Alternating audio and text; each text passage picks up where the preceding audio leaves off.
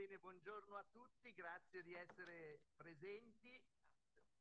Ringrazio anche tutti eh, i relatori, quindi oltre al comune evidentemente, eh, oggi qui con, uh, nella persona eh, dell'assessore Marco Caldarelli, a cui poi cederò la parola, la professoressa Violini, professoressa di diritto costituzionale all'Università di Milano e coordinatrice delle scuole di sussidiarietà, il professor Renato Ruffini, professore di organizzazione e gestione sempre all'Università di, Milano, il dottor Giulio Casilli, che è un dottorato in diritto costituzionale, un dottorando in diritto costituzionale, sempre all'Università di Milano,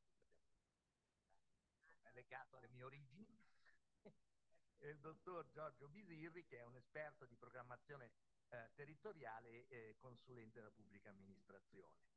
Quindi noi oggi eh, dopo dire, la presentazione generale sul tema della sussidiarietà eh, che abbiamo fatto eh, il 13 scorso eh, con la professora eh, Tadini, eh, vogliamo oggi entrare nel merito di questo tema, l'amministrazione la, condivisa e quindi cominciare a capire quali sono i fondamenti giuridici costituzionali, le ricadute diciamo, sull'organizzazione eh, del, dell'amministrazione pubblica o dei soggetti del terzo settore e poi vedremo anche eh, con i nostri appunto relatori eh, profili di carattere dire, pratico casistico per renderci conto di che cosa significa questa coprogettazione. Prima di lasciare la parola all'assessore Marco Caldarelli, hm, voglio solo ricordare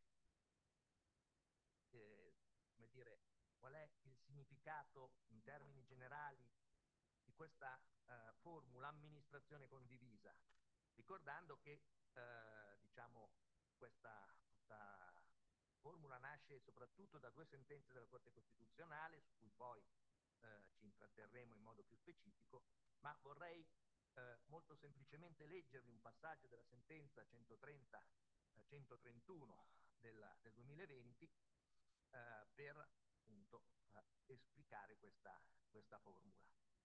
E quindi tra i soggetti pubblici e gli enti del terzo settore, dice la sentenza, si instaura in forza dell'articolo 55 un canale di amministrazione condivisa, alternativo, e questo mi sembra uno degli snodi fondamentali, uno dei punti fondamentali eh, di quello che vogliamo approfondire, renderci conto di cosa si tratta, alternativo a quello del profitto e del mercato.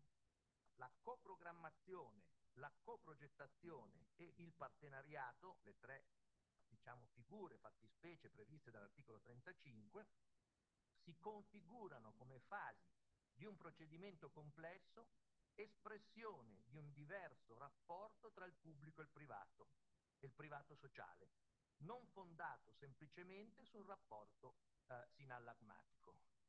Il modello configurato dall'articolo 55 del codice del terzo settore non si basa sulla corresponsione di prezzi e corrispettivi dalla parte pubblica a quella privata, ma sulla convergenza di obiettivi e sull'aggregazione di risorse pubbliche e private per la programmazione e la progettazione in comune di servizi e interventi diretti a elevare i livelli di cittadinanza attiva, di coesione e protezione sociale, secondo una sfera relazionale che si colloca al di là del mero scambio utilitaristico.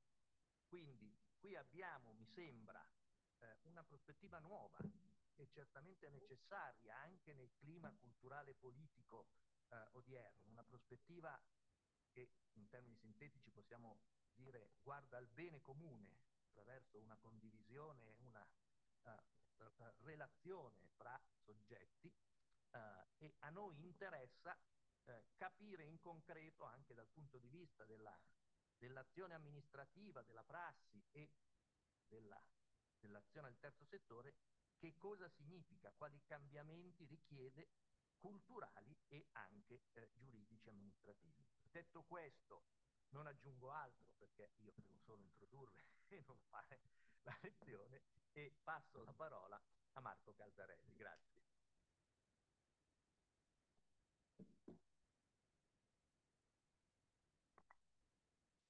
Sì, in realtà c'è ancora una parte non strettamente di merito, che è questa parte relativa ai saluti dell'amministrazione, che necessariamente e per scelta non entrerà nel merito delle questioni che verranno affrontate durante le relazioni che verranno. In fondo pensavo che fu sera e fu mattina al secondo giorno di corso.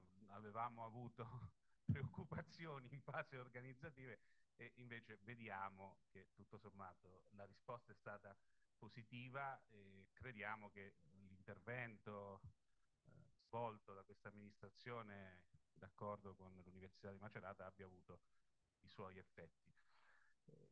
C'è una scrittrice ucraina naturalizzata brasiliana che si chiama Clarice Lispector che diceva eh, non essere nata animale è una mia segreta nostalgia in un libro piuttosto noto nel settore che è Acqua Viva.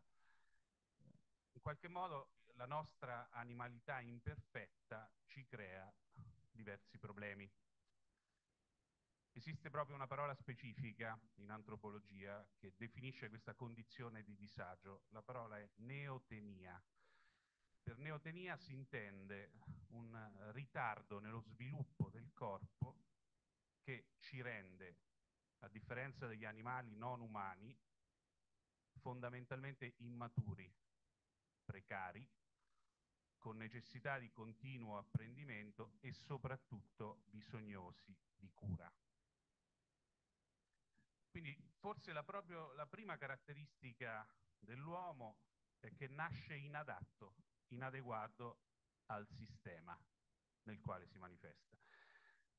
Eh, qualche esempio, pensiamo al sistema nervoso. Il sistema nervoso subisce una lunga maturazione per diversi anni dopo la nascita.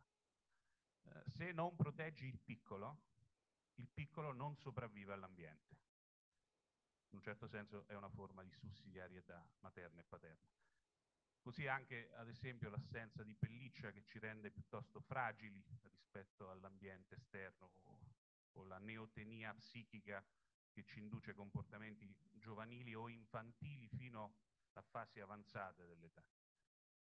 Da questa necessità e anche da questa debolezza, quindi da una sostanziale carenza di istinti che ci guidano e ci proteggono, nasce la cultura.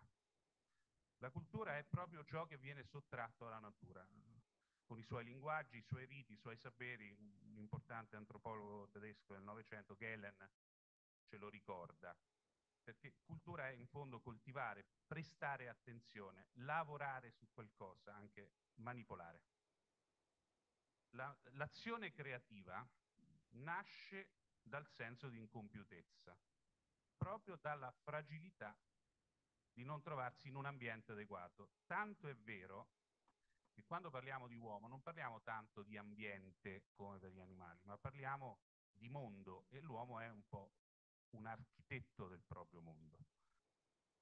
Però attraverso questa fatica culturale l'uomo recupera l'iniziale svantaggio. In fondo l'animale, fuori dai confini del suo ambiente, rischia perennemente la propria esistenza. Per un animale uscire dal proprio ambiente ed entrare nell'ambiente di un altro animale significa incontrare la propria fine. Un esempio qualunque la mosca che entra nella tela del ragno. L'uomo invece converte la sua strutturale debolezza in ciò che alla fine rappresenta la sua caratteristica più importante, la sua forza. È venuto in mente, in particolare parlando anche di questioni sociali, agli assistenti sociali. L'assistente sociale riesce ad entrare in relazione con un altro, ad andargli incontro non perché l'assistente sociale abbia di più rispetto agli altri, qualcosa da dare, da donare, un eccesso, no, perché in realtà vive una condizione di imperfezione. L'assistente sociale riesce ad entrare in relazione con l'altro partendo dall'esperienza della propria ferita. Questo ovviamente lo dico in termini accademici perché nel comune di Macerata le assistenti sociali per definizione sono prive di difetti e prive di fragilità, quindi è probabilmente per il comune di Macerata un'esperienza del tutto originale e diversa rispetto al resto, però in generale vale questo discorso. È curioso, e per certi versi è anche paradossale, che in realtà la realtà buona, chiamiamola così, utilizzi te non partendo dai, dalle tue virtù, dai tuoi pregi, ma partendo dai tuoi limiti. Perché qualcosa di buono possa utilizzarti, perdono per il termine che può essere poco gradevole, deve poterti acchiappare, prendere. E i difetti rappresentano una specie di maniglia. Se tu fossi perfetto saresti come una specie di sfera unta, viscida, scivolosa e quindi inutilizzabile. Uh, un esempio, i fondatori di tutti gli ordini ospedalieri nel Medioevo e nel primo Rinascimento erano soldati di Ventura, persone abituate ad uccidere, che dalla propria esperienza, dall'esperienza del proprio orrore del sangue e della morte, creavano ospedali per prendersi cura di chi stava male. Ciò che ci chiama all'azione non è il pieno è il vuoto, è quello che manca. E il nostro limite si trasforma in capacità creativa. Termine curioso vi riferisco. Sim Tsum è un'antica parola ebraica che significa letteralmente ritrazione o contrazione ed è utilizzata originariamente dai cabalisti lurianici verso la fine del 400 in Spagna in riferimento a, ad un'idea di autolimitazione di Dio infinito che si ritrae nell'atto della creazione del mondo. Perché si ritrae? Perché fa spazio. Il termine è usato per spiegare la dottrina di Dio che all'inizio del processo della creazione, contraendo la sua luce infinita, permette, apre uno spazio libero dove si possa manifestare la fantasia della creatura. In qualche modo, dicevano, Dio si ritrae per fare spazio a te. Questo lo abbiamo visto in tante occasioni, abbiamo visto che la fantasia spesso ha prodotto creazione, ha prodotto servizio, ha prodotto cura. La sussidiarietà è anche un po' questo, è un ritirarsi perché qualcun altro abbia spazio. È un modo di fare anche il proprio lavoro. Macerata ha un dirigente che non vedo, ora forse è andato via, che ha questa attitudine a lasciare spazio. Io ci sono, dice, però fai anche tu. Dico la seconda cosa, perché non ne dico, ne dico due e non ne dico tre, perché tre, il numero tre rappresenta un po' la compiutezza, la completezza, io non voglio completare niente, semplicemente aprire a qualcosa. È un numero aperto, poi completeranno gli altri relatori che invece hanno un'idea precisa e compiuta. La seconda cosa che dico è che un aspetto che emerge dalla sentenza della Corte Costituzionale citata dal professor Canavesi, la 131 del 2020, che è in un certo senso un po' un compimento anche di un principio costituzionale, è un'interpretazione, un'attuazione, un'attualizzazione. E contiene un aspetto secondo me interessante. Faccio un brevissimo passo indietro, prendiamo un sistema relativo alla pubblica amministrazione che è un po' il sistema per antonomasia, il sistema degli appalti. Il sistema degli appalti ha improntato al principio del sospetto. Eh, bilaterale. La, io pubblica amministrazione ho sfiducia in te privato perché tu sei intimamente malvagio e ti vuoi approfittare del bene comune. Viceversa, la norma prevede che lo Stato abbia anche paura di te funzionario, perché tu funzionario, se tu avessi le mani libere faresti favoritismi, approfitteresti della tua condizione di potere. Allora devo approntare un enorme sistema, una specie di superfetazione normativa di controlli e di sanzioni che è capillare e in qualche caso, perdonatemi, anche soffocante. La sentenza citata invece anche se per un settore specifico, limitato e particolare, quale è quello del terzo settore, cambia linguaggio, cambia impostazione, si passa da un clima di sospetto ad uno spazio di fiducia. Eh, non è solo interessante il concetto di fiducia e il concetto di sospetto, è anche interessante il passaggio dall'uno all'altro. Il concetto concetto di passaggio è molto ricco, molto seminale. Passare dal sospetto alla fiducia è un po' come attraversare un fiume e attraversare un fiume è un rischio. Il termine greco che indica questo passaggio è peirazo, bello, che ha un'origine sanscrita, la parola è par in sanscrito, in indoeuropeo la radice per, che significa porta, porta, passaggio. Tanti termini italiani utilizzano questa radice, mi viene in mente esperto, mi viene in mente quindi esperienza, perito nel duplice senso, perito cioè colui che è esperto, ma anche perito colui che è morto perché non ha attraversato il fiume. Eh, è la radice anche della parola pericolo, perché di fronte ad ogni passaggio c'è sempre una dimensione di pericolo. La stessa parola passaggio in realtà è, è anche di per sé interessante perché è la traduzione del termine Pasqua, che appunto indica ovviamente un passaggio al rovescio dalla vita alla morte e dalla morte alla vita. Concludo dicendo quindi che la sussidiarietà concreta, quella che voi esercitate, contiene contemporaneamente elementi di fiducia ed elementi di pericolo. E credo che possa essere interessante eh, osservare come ciascuno di noi e ciascuno di voi soprattutto si muoverà all'interno di questa sfida.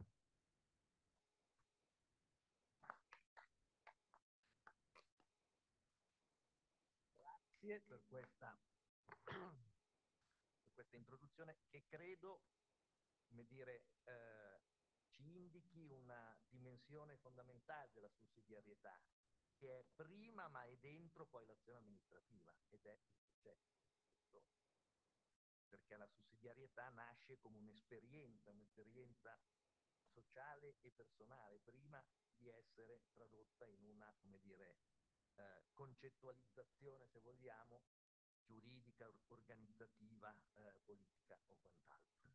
Marco ci ha abituato a stupirci, la volta scorsa ha evocato Geremia, siamo tornati ancora più indietro, addirittura alla creazione questa volta, ma diciamo, lo inviteremo anche alla prossima allora a questo punto eh, passo la parola alla professoressa Lorenza Violini eh, che ci introdurrà appunto al tema dell'inquadramento diciamo, costituzionale eh, giuridico dell'amministrazione condivisa. Della parola Lorenza, grazie. Grazie, grazie appunto agli prima cosa grazie agli organizzatori, al, amico, e collega e conterraneo, ormai però prestato alla marca, professor Canavesi. Siamo tutte e due della Statale di Milano, quindi un pochino ci riconosciamo, diciamo così, nella, nell'origine, ma mi sembra che il professor Canavesi sia molto ben inserito in questa meravigliosa realtà del centro Italia, che per uno che viene dal nord è sempre fonte di buon umore.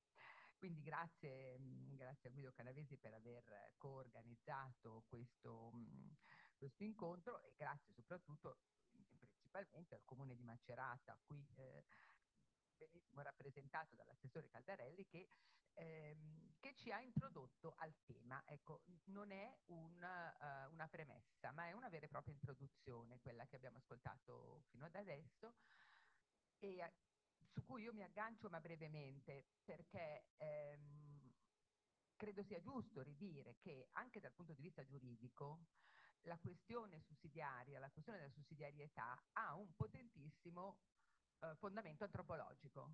Si tratta del rapporto Stato-cittadino, o meglio, meglio ancora, del rapporto potere-libertà. Eh, se noi ci attestiamo su una visione ottocentesca del rapporto Stato-cittadino, potere-libertà, dobbiamo pre prendere atto che ci sono due elementi. Il primo elemento è eh, la questione della gerarchia. Cioè, il, il, il, cittadino dentro lo Stato è dentro una uh, dimensione gerarchica, che non è da demonizzare, perché la gerarchia è anche fonte di ordine. No? Non, non, quando in famiglia qualcuno deve dare un ordine, lo dà e, e deve poterlo enforce. E lo stesso vale nella dimensione pubblica. Però non è l'unico modo di costruire la relazione pubblico-privato, è un modo che serve a degli scopi, e a garantire l'ordine e la possibilità di una convivenza pacifica in un mondo di diversi. L'altra questione che ci può essere utile per, per guardare indietro, per guardare alla sussidiarietà oggi, è che se il rapporto Stato-cittadino è quello che abbiamo ereditato dall'ottocentesco, dalla grande dottrina tedesca, ehm, questo ha al fondo proprio questa dimensione antropologica molto, permettetemi, maschile, perché il soggetto che regge, il microsoggetto che regge il rapporto con lo Stato è un soggetto potente, meno potente rispetto allo Stato, ma che si confronta con lo Stato per poter affermare i propri interessi. Pensate all'imprenditore, no, l'imprenditore è tutt'altro che, o l'imprenditrice, possiamo sperare, però questo è ancora un percorso, siamo reduci dalla festa della donna siamo un attimino esaltate per farvi stare calmi, eh, anzi calme.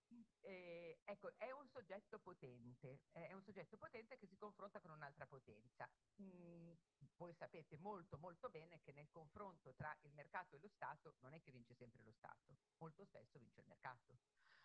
Non sto adesso a, a come dire, approfondire questo spunto, però ehm, saremmo irrealisti se pensassimo che il potere pubblico è sempre ehm, più capace di affermare i propri interessi che dovrebbero interessi, essere interessi comuni rispetto al mercato. Quindi abbiamo questa, questa duplicità di relazione che va, che va considerata. E, è per questo che non possiamo fermarci a questo livello antropologico, se vogliamo in qualche modo un po' entrare in questa nebulosa, questa nebulosa irresolubile che è il principio di sussidiarietà, ehm, che ogni tanto ci dà qualche spunto di chiarezza, sicuramente la 131 è un elemento di chiarezza, un punto di luce nella nebulosa irresolubile che è, è il principio di sussidiarietà, però è un punto di luce, è uno, bisogna tener conto che ce ne sono mille altri. Questa introduz introduzione sulla uh, premessa, sulle, sull'introduzione di Marco Caldarelli mi permette appunto di ringraziarlo e di agganciarmi proprio perché se in qualche modo non si affaccia qualcosa di nuovo sul piano antropologico, sul piano relazionale, è un po' difficile cercare poi di dare attuazione a tutto quello che la sentenza dice che è meraviglioso, perché semplicemente dice delle verità che ci piacciono molto, ma che poi devono essere attuate, perché eh, non sono prive di pericoli, come si diceva prima. E ehm, allora, per, mh, intanto per tranquillizzare la audience vorrei dire che la mattinata è organizzata secondo questo schema.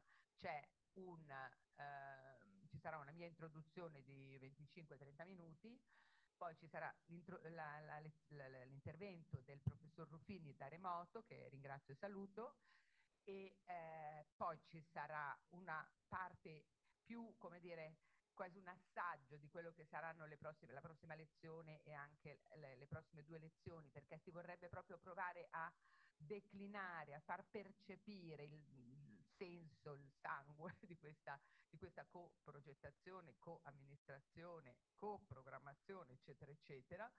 E, e, poi ci sarà molto gradito l'intervento di Giorgio Bisirri, che mi è stato detto ed è consulente della pubblica amministrazione, quindi vede la pubblica amministrazione da un'angolatura molto interessante, perché ogni tanto vedere dal fuori e poter mettere anche un po' le mani ha una sua ha un suo fascino. Abbiamo collaborato, lo ricordo con piacere, per il progetto Dote della Regione Lombardia, che comunque è stata un'esperienza di innovazione amministrativa abbastanza complessa, ma tutto sommato con qualche effetto positivo poi a discutere, perché come tutte le cose nuove deve sempre progredire, perché se non progredisce, regredisce. È una legge della natura, penso, ma anche una legge del diritto amministrativo.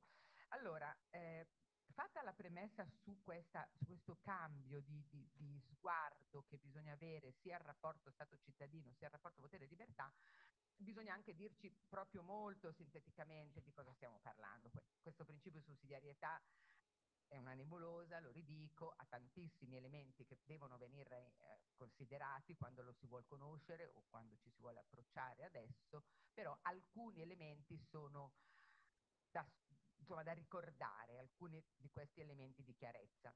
Il, forse il primo da, ehm, ricordare è che è un principio veramente risalente. L'altra volta abbiamo parlato di Geremia, ehm, perché è risalente, perché da sempre l'uomo si chiede che cos'è il potere, come deve essere esercitato, perché devo essere sottomesso al potere, è possibile non essere sottomessi al potere? Noi tante volte pensiamo di poter non essere sottomessi al potere, no? La libertà è fare tutto ciò che si vuole, dobbiamo prendere, e, e questo ci piace perché l'uomo può essere libero, ma dobbiamo anche pensare che eh, non è così. Noi siamo qua già da, per il fatto di essere qua potentemente condizionati non solo dalla nostra volontà, ma da una serie di circostanze che non sono nel nostro, sono nel nostro controllo. Quindi è un principio antico che nel Medioevo i monaci benedettini che avevano un profondissimo senso del, del potere, non erano mica ingenui, eh, hanno costruito le basi per lo Stato di diritto, per la, lo Stato costituzionale, per il diritto penale, cioè tutto era già de, molto dentro la regola, la regola di San Benedetto, che di fatto era un romano e quindi aveva un'idea molto precisa di cos'è lo Stato e di come si fa a farlo, a farlo vivere. Ecco, questa, ehm, questo, ehm, questa domanda è una domanda eterna, non, non, è che arriviamo noi adesso a parlare di sussidiarietà perché abbiamo la sentenza della Corte Costituzionale, è una domanda eterna che ha attraversato tutta la storia dell'Occidente. E eh, quando lo si studia, ormai anche i giuristi sono abituati a fare così, tendono a rifare la uh, storia del pensiero, del pensiero, del pensiero occidentale quando lo si guarda dal punto di vista del potere. I monaci, dicevo, hanno questa grande, eh, irripetibile, sintetica definizione, gouverner, c'est servir, dove servire è proprio il concetto stesso di sussidiare, di sostenere, eccetera, eccetera. Quindi governance e servire.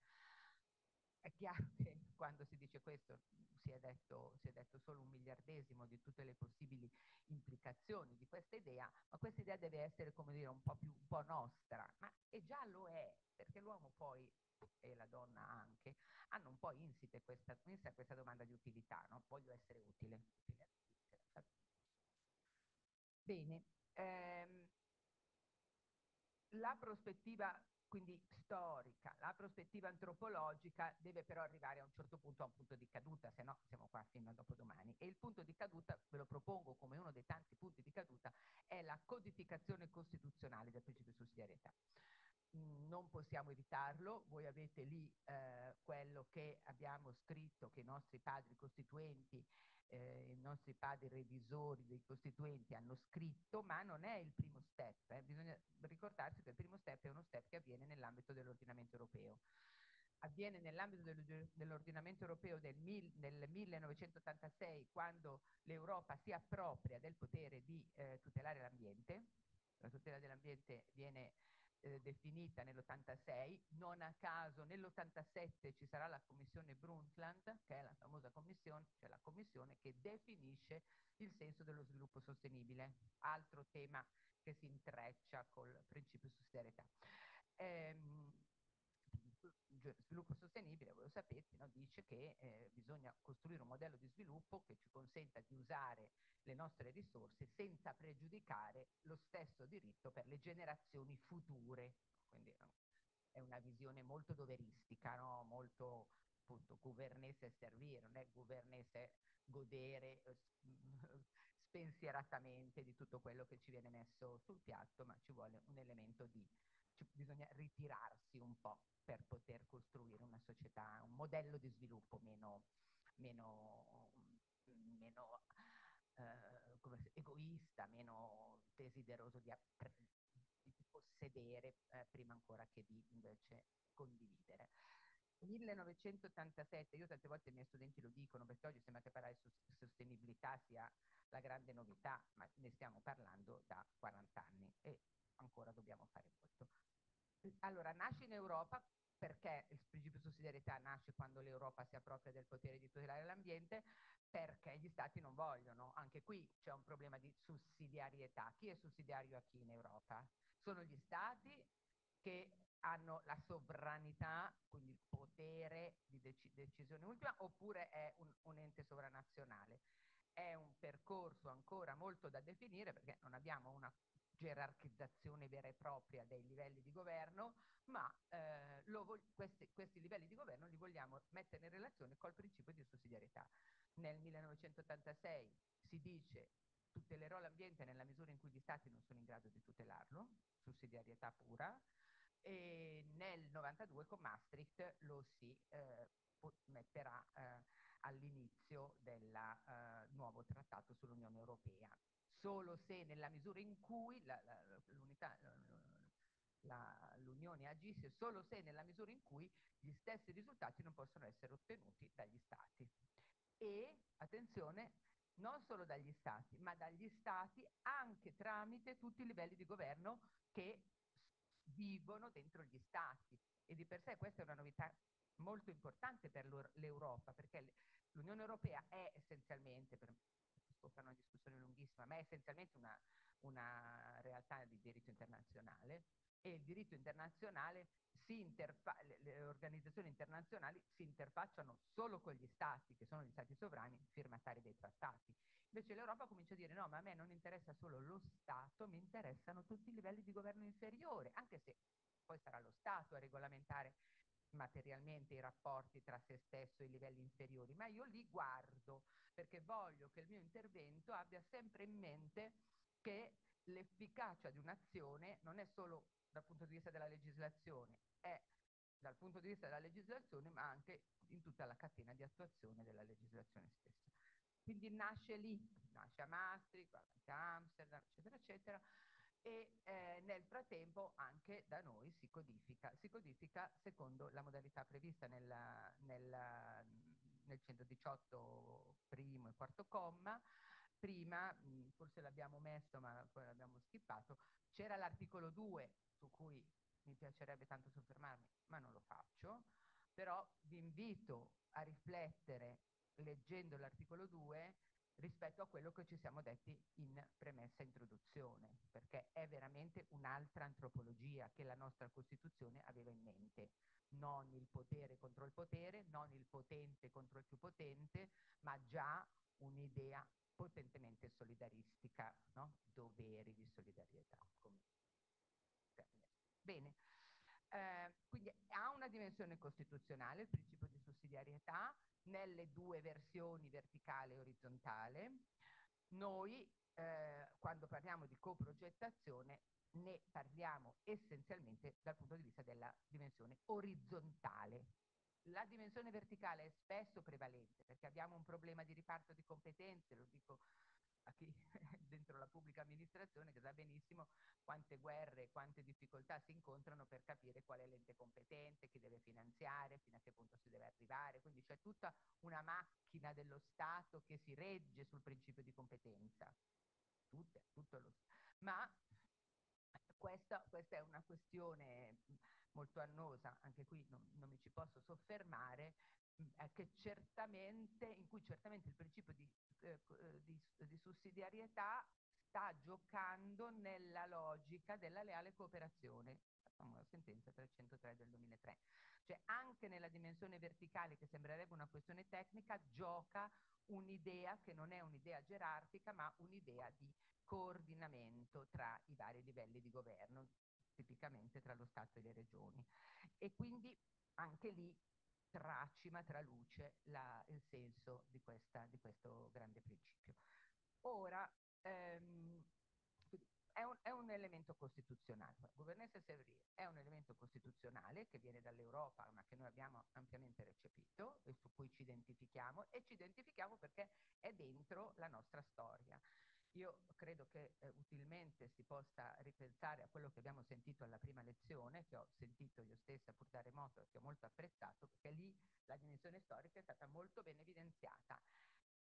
Possiamo dirlo, è nelle nostre corde poter concepire la società civile come qualcosa di dinamico, di vivo, non di freddo e di parcellizzato. Quindi una realtà sociale potenzialmente molto ricca, e una eh, dimensione, eh, accanto a questa dimensione relazionale, anche la capacità non solo di godere della relazione, ma di mettere le relazioni al servizio degli altri, che sono un po' due aspetti della stessa medaglia, no? Non andiamo al bar insieme, certo qualche volta ci andiamo anche, ma costruiamo associazioni, luoghi, realtà locali eh, aggregate che sono il, dire, il, il primo, la prima forma di sviluppo della domanda di bene che domani insomma, ciascuno, ciascuno alberga in sé, no? di far del bene. Ecco, il far, eh, come dicevano no, alcuni dei nostri santi, quando vuoi fare il bene, fallo bene. No? Però, un pochino tutto questo sarà rimasto nel nostro DNA, pur in un'epoca dove il consumo, i social e tutto tendono un po' alla disgregazione. Quindi noi lo, lo, codifichiamo lì, ma ci orientiamo nel senso della sussidiarietà orizzontale, elemento, eh, elemento appunto di grande, ehm, di, di grande ritrovo di una radice culturale nazionale non secondaria e non scomparsa, ma mh, mm, basta leggere anche solo la famosa sentenza 131 per capire che la regione Umbria, giusto per parlare di uno dei vostri vicini, ha avuto la intelligenza, credo, di costruire una legge appositamente per colmare una lacuna presente nell'ordinamento nazionale e costruire queste ehm, cooperative di comunità, cooperative di comunità che, eh, che sono by definition qualcosa di ritenuto estremamente utile. Quindi il legislatore, che non è il superiore gerarchico in questo caso, ma veramente dimostra un'attenzione al contesto sociale, dice, beh, questa cosa qui, questo tipo di cooperazione non c'è nel, anche nel grande coacervo della regolamentazione del terzo settore, non c'è e io la, la, la, la, faccio riemergere, la, regolamento perché la legge è anche un grande segno di riconoscimento delle realtà esistenti no? e, e, metto in atto questa legge, anche la legge Umbria è molto bella e, e, lo Stato che ogni tanto riprende il suo volto arcigno dice non lo puoi fare. Perché non lo puoi fare? Perché io penso che uh, enti del terzo settore sono quelli che decido io e quindi io ho la legge, ho il codice del terzo settore, ho il decreto 112 del 2017, lì devi andare a vedere se tu, che sei un pezzo della società civile, fits in the rules, entri nello schema che io ho determinato. La Corte dà un bello stop. Una Corte che eh, non è particolarmente regionalista, non è neanche particolarmente è abbastanza centralista, si può dare ragione allo Stato, lo fa e anche abbastanza volentieri. Anche per una certa difficoltà culturale a riconoscere nelle regioni quella forza di appartenenza a un contesto sociale e amministrativo unitario che è tipica della cultura dello Stato centrale, dello Stato centralistico.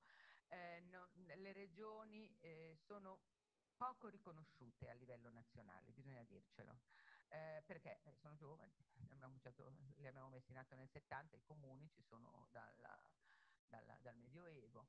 Eh, la, cultura, la cultura centralistica romana fa fatica a riconoscere questi enti come parte di sé, come parti utili di sé. Lì spesso li usa per portare parte del suo deficit in, in capo regionale, no? quando c'è stata la, la 1982 la finanziaria del governo Amato, abbiamo spostato il deficit sanitario sulle regioni e quindi siamo entrati serenamente e con mani pulite in Europa e col nostro, col nostro, col nostro euro. Ehm, quindi non è tanto amica, li usa all'origine ha usato le regioni per frazionare il potere politico, non dobbiamo dimenticarlo, eh?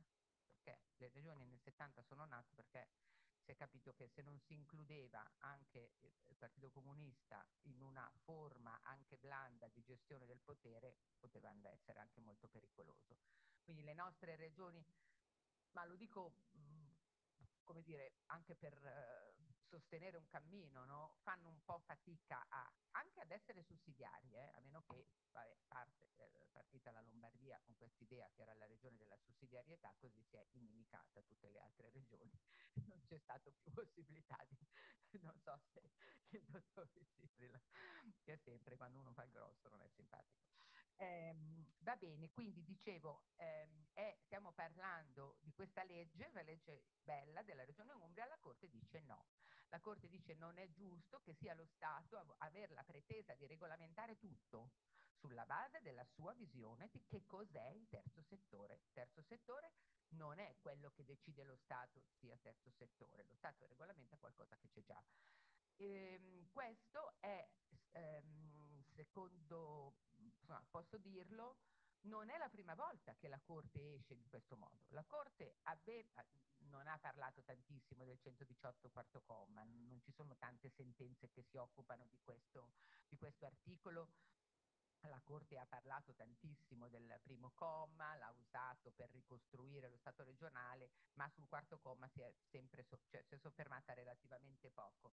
Eh, però abbiamo due sentenze importanti tra le molte, che si possono, tra le poche che si possono ricordare, ma queste due le voglio ricordare. La prima è una sentenza sul volontariato, dove lì eh, quello che veniva detto prima, no? che, che, il rapporto tra potere e società civile non è un rapporto dialettico, deve essere un rapporto di collaborazione e il volontariato è l'espressione di questa soggettività sociale del terzo settore, era fatto una legge della regione Trentino che insomma è stata contestata dal governo, ma soprattutto, e, e può essere utile ricordarlo, è la grande sentenza sulle fondazioni bancarie, perché le fondazioni bancarie sono state fatte sempre sotto il governo Amato, perché il governo Amato è uno dei grandi, forse uno dei pochi veri statisti del nostro paese, non lo so, di azzardo questo. Ehm, sempre governo Amato fa le fondazioni bancarie, come diceva Guzzetti molto simpaticamente, sono, erano le zie ricche in una famiglia in rovina, no? perché tutti tutti i dice, gli utili delle banche andavano a finire in queste fondazioni e per statuto avevano compiti di welfare. Mm? Siccome però erano così ricche in una famiglia in rovina, la politica non ha pensato di meglio che tentare di metterci sopra le mani, mettendo nei consigli di amministrazione delle fondazioni i rappresentanti della politica, dei partiti.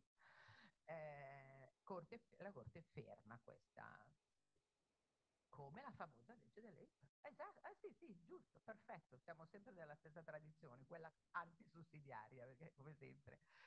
E quindi, ehm, quindi abbiamo uh, questa sentenza che è molto importante, che dice più o meno quello che dice la 131, cioè dice che ci sono due grandi modelli, ma non sono gli unici, non c'è solo lo Stato del mercato, c'è la società civile che deve poter svolgere questo compito e la possibilità di eh, dice espressamente la sentenza, la, la, la co-amministrazione, quindi l'uso comune, la gestione in comune della progettazione, ehm, usare insieme, è, è la, scusate, è la, la co-amministrazione è la strumentazione a disposizione della società e del, dello Stato per dare realizzazione al principio di sussidiarietà.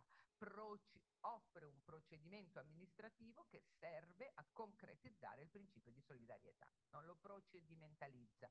Questa è un'altra parola che entra nel, nel, nell'insieme delle parole della sussidiarietà, procedimentalizzare. Attenzione che questo, tra l'altro, anche dal punto di vista dell'azione amministrativa è molto interessante. L'Europa ha provato a insegnarcelo, non so quanto ci sia riuscita.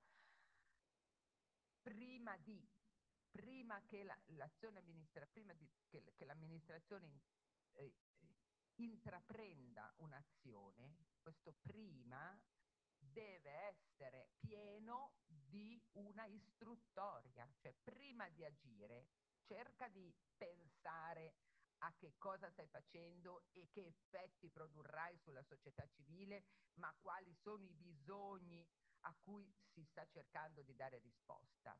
Il prima della sussidiarietà è estremamente importante, anche della coamministrazione, perché non è che adesso tutti siamo da qui e andiamo a coamministrare, cioè, bambini sono nove mesi stanno in gestazione, no? Cioè ci vuole il tempo, però questo prima può essere un'indicazione da subito, cioè prima di. E tra l'altro, sempre un'altra considerazione un po' random, ma poi magari ricuciamo nel dibattito.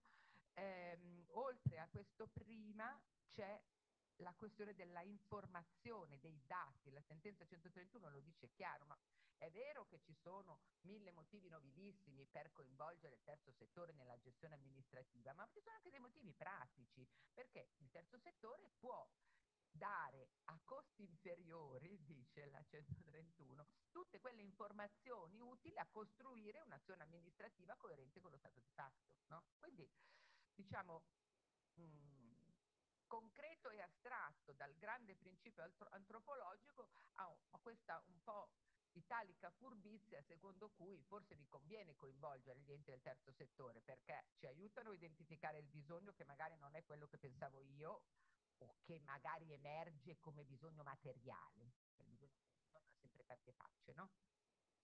La società del bisogno, dice la 131.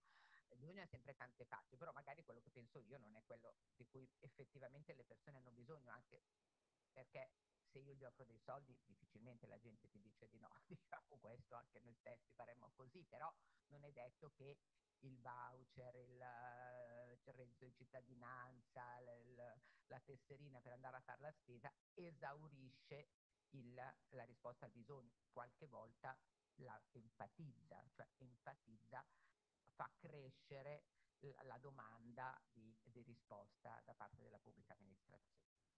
Quindi, ehm, ecco, tutto questo è sussidiarietà, è già sussidiarietà.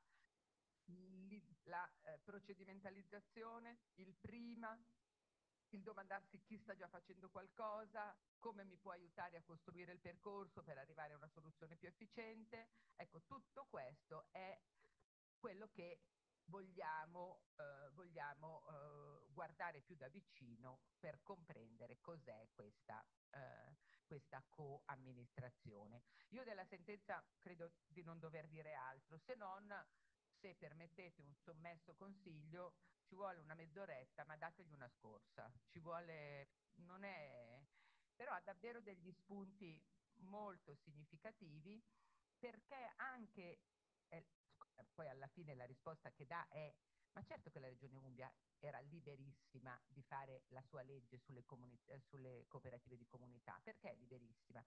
Non perché perché poi la regione a un certo punto dice ma insomma io ho fatto una legge per qualcosa di buono, che so che è già buono, so che aiuta, perché lo Stato deve interferire con le mie scelte, no? È già in re ipsa la concezione di bene che emerge da queste realtà e io le codifico e la Corte risponde no, non è proprio così, non è che è in re ipsa, ci vuole sempre un passaggio dentro la normazione, no?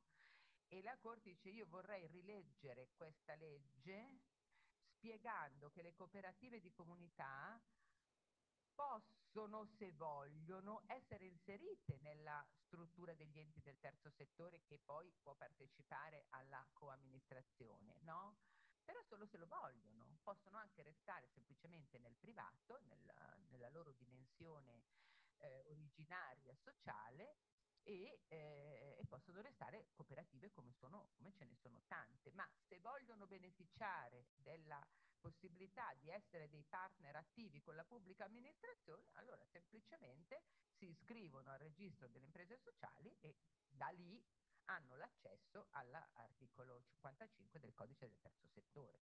Quindi la, mh, per questo dico che è utile, perché tante volte ecco, no, no, la sussidiarietà non è solo spontaneismo sociale, ecco, è spontaneismo sociale che ha poi una sua dignità normativa, una sua dignità regolativa che serve appunto per dare, mettere le due sponde dentro cui scorre, scorre il fiume della creatività sociale stessa.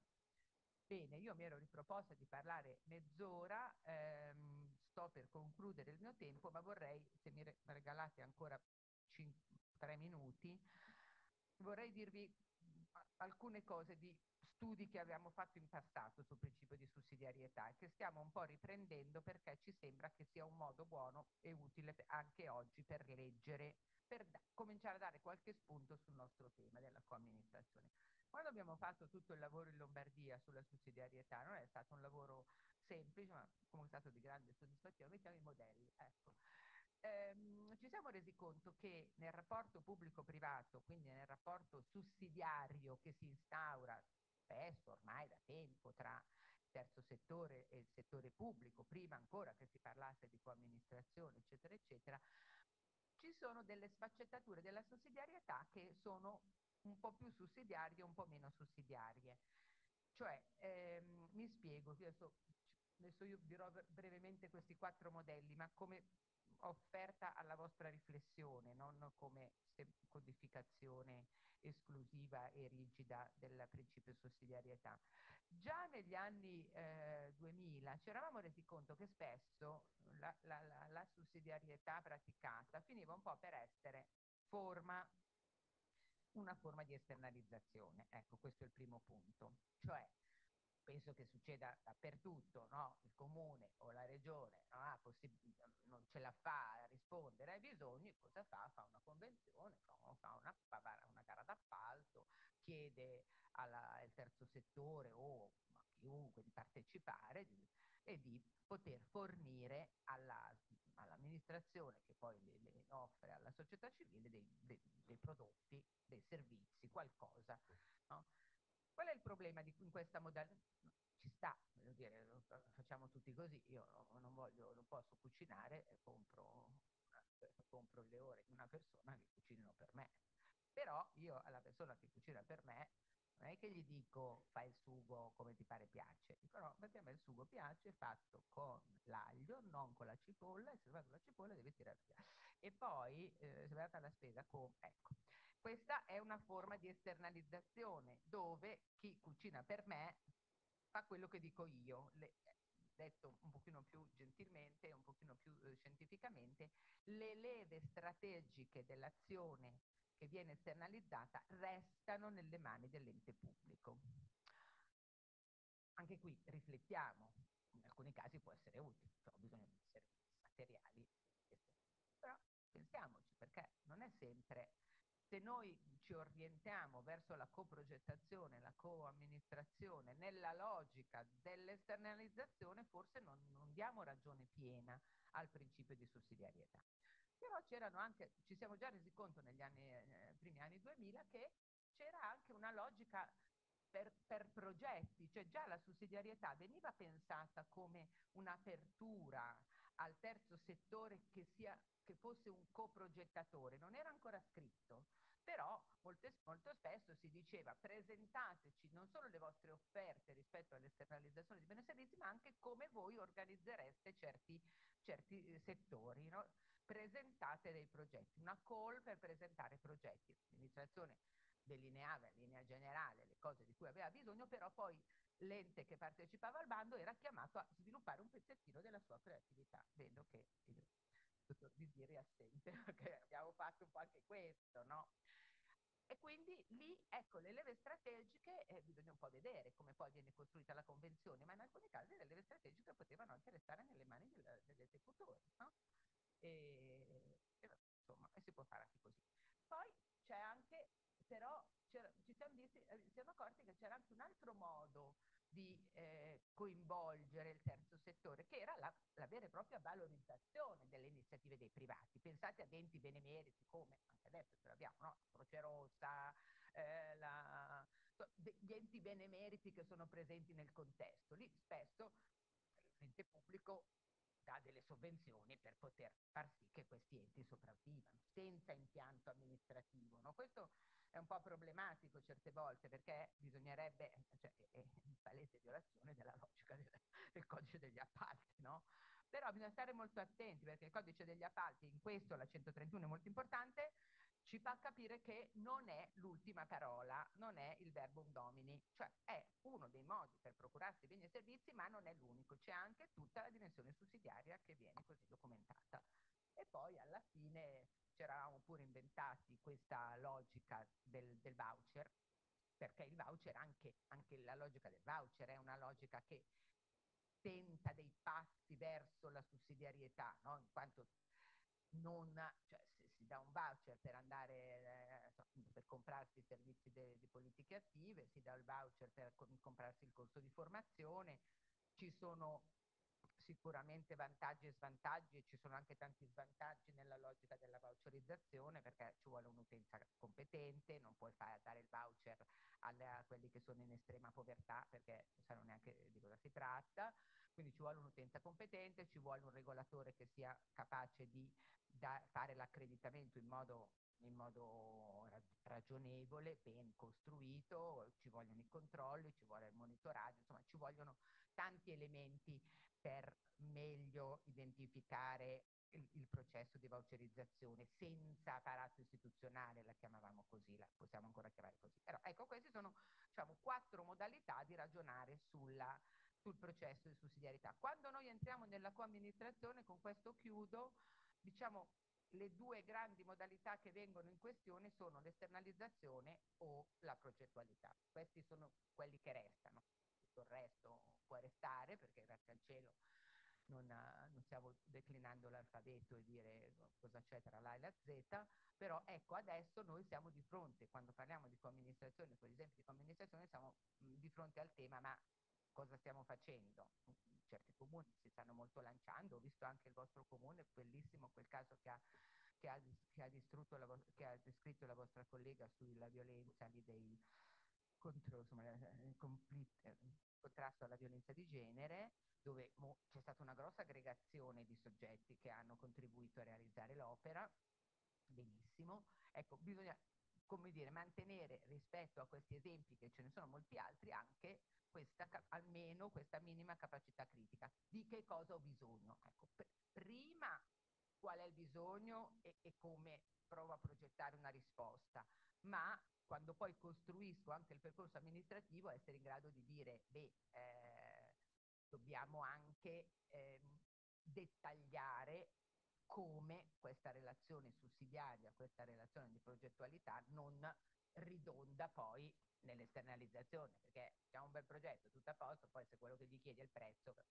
siamo a capo tanto quanto prima. Però in qualche modo ci vuole invece anche tutto l'aspetto economico che sia un aspetto importante. Sono dilungato un pochino di più da, rispetto a quello che volevo, mi scuso e basta, lascio la parola al relatore. Grazie Lorenza, credo che eh, hai, come dire, fatto un affresco della, del nostro tema. Non voglio portare via altro tempo e quindi passo subito la parola al professor Ruffini. Adesso attiviamo, salviamo le Anche slide. mezz'ora, mi raccomando. 40 minuti. Buongiorno. Buongiorno. A lei la parola, grazie. Grazie mille a voi. Eh, quindi Lorenza 30-40 minuti, mi confermi? Un attimo che abbassiamo l'audio perché è, è, è moltissimo. Sì, io ce l'ho un po' alto, lo posso abbassare io, sentite meglio? Perché sento poco voi. Mm. Provi adesso, professore? Io, io sento poco, voi come sentite? Noi la sentiamo Anche troppo. Mm. Abbasso un po'. Ho abbassato io, non so adesso come sentite. Perfetto, ok. Mm.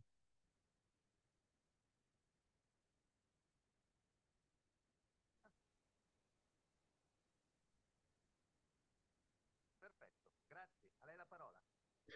Grazie a voi. Ecco, io sento pochissimo voi comunque, magari se poi riuscite a alzare il vostro audio anche per seguire meglio i lavori.